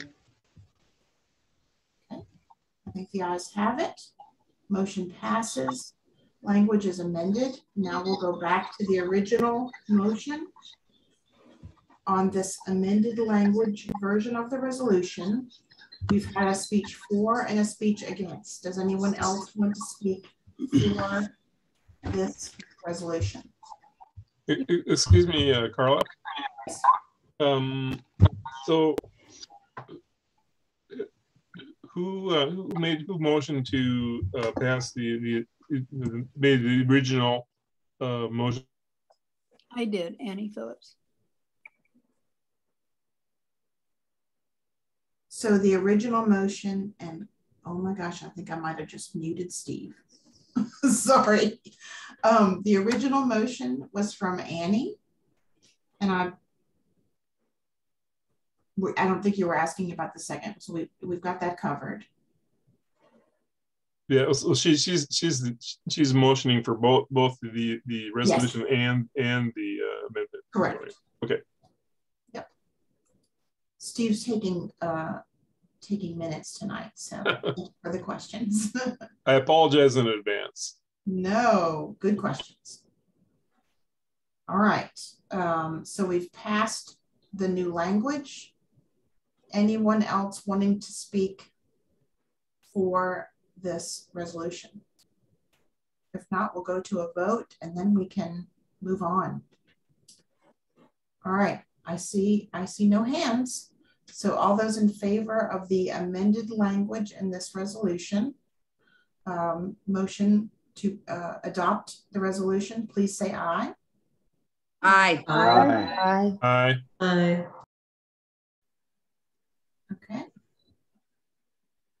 All those opposed, please say nay.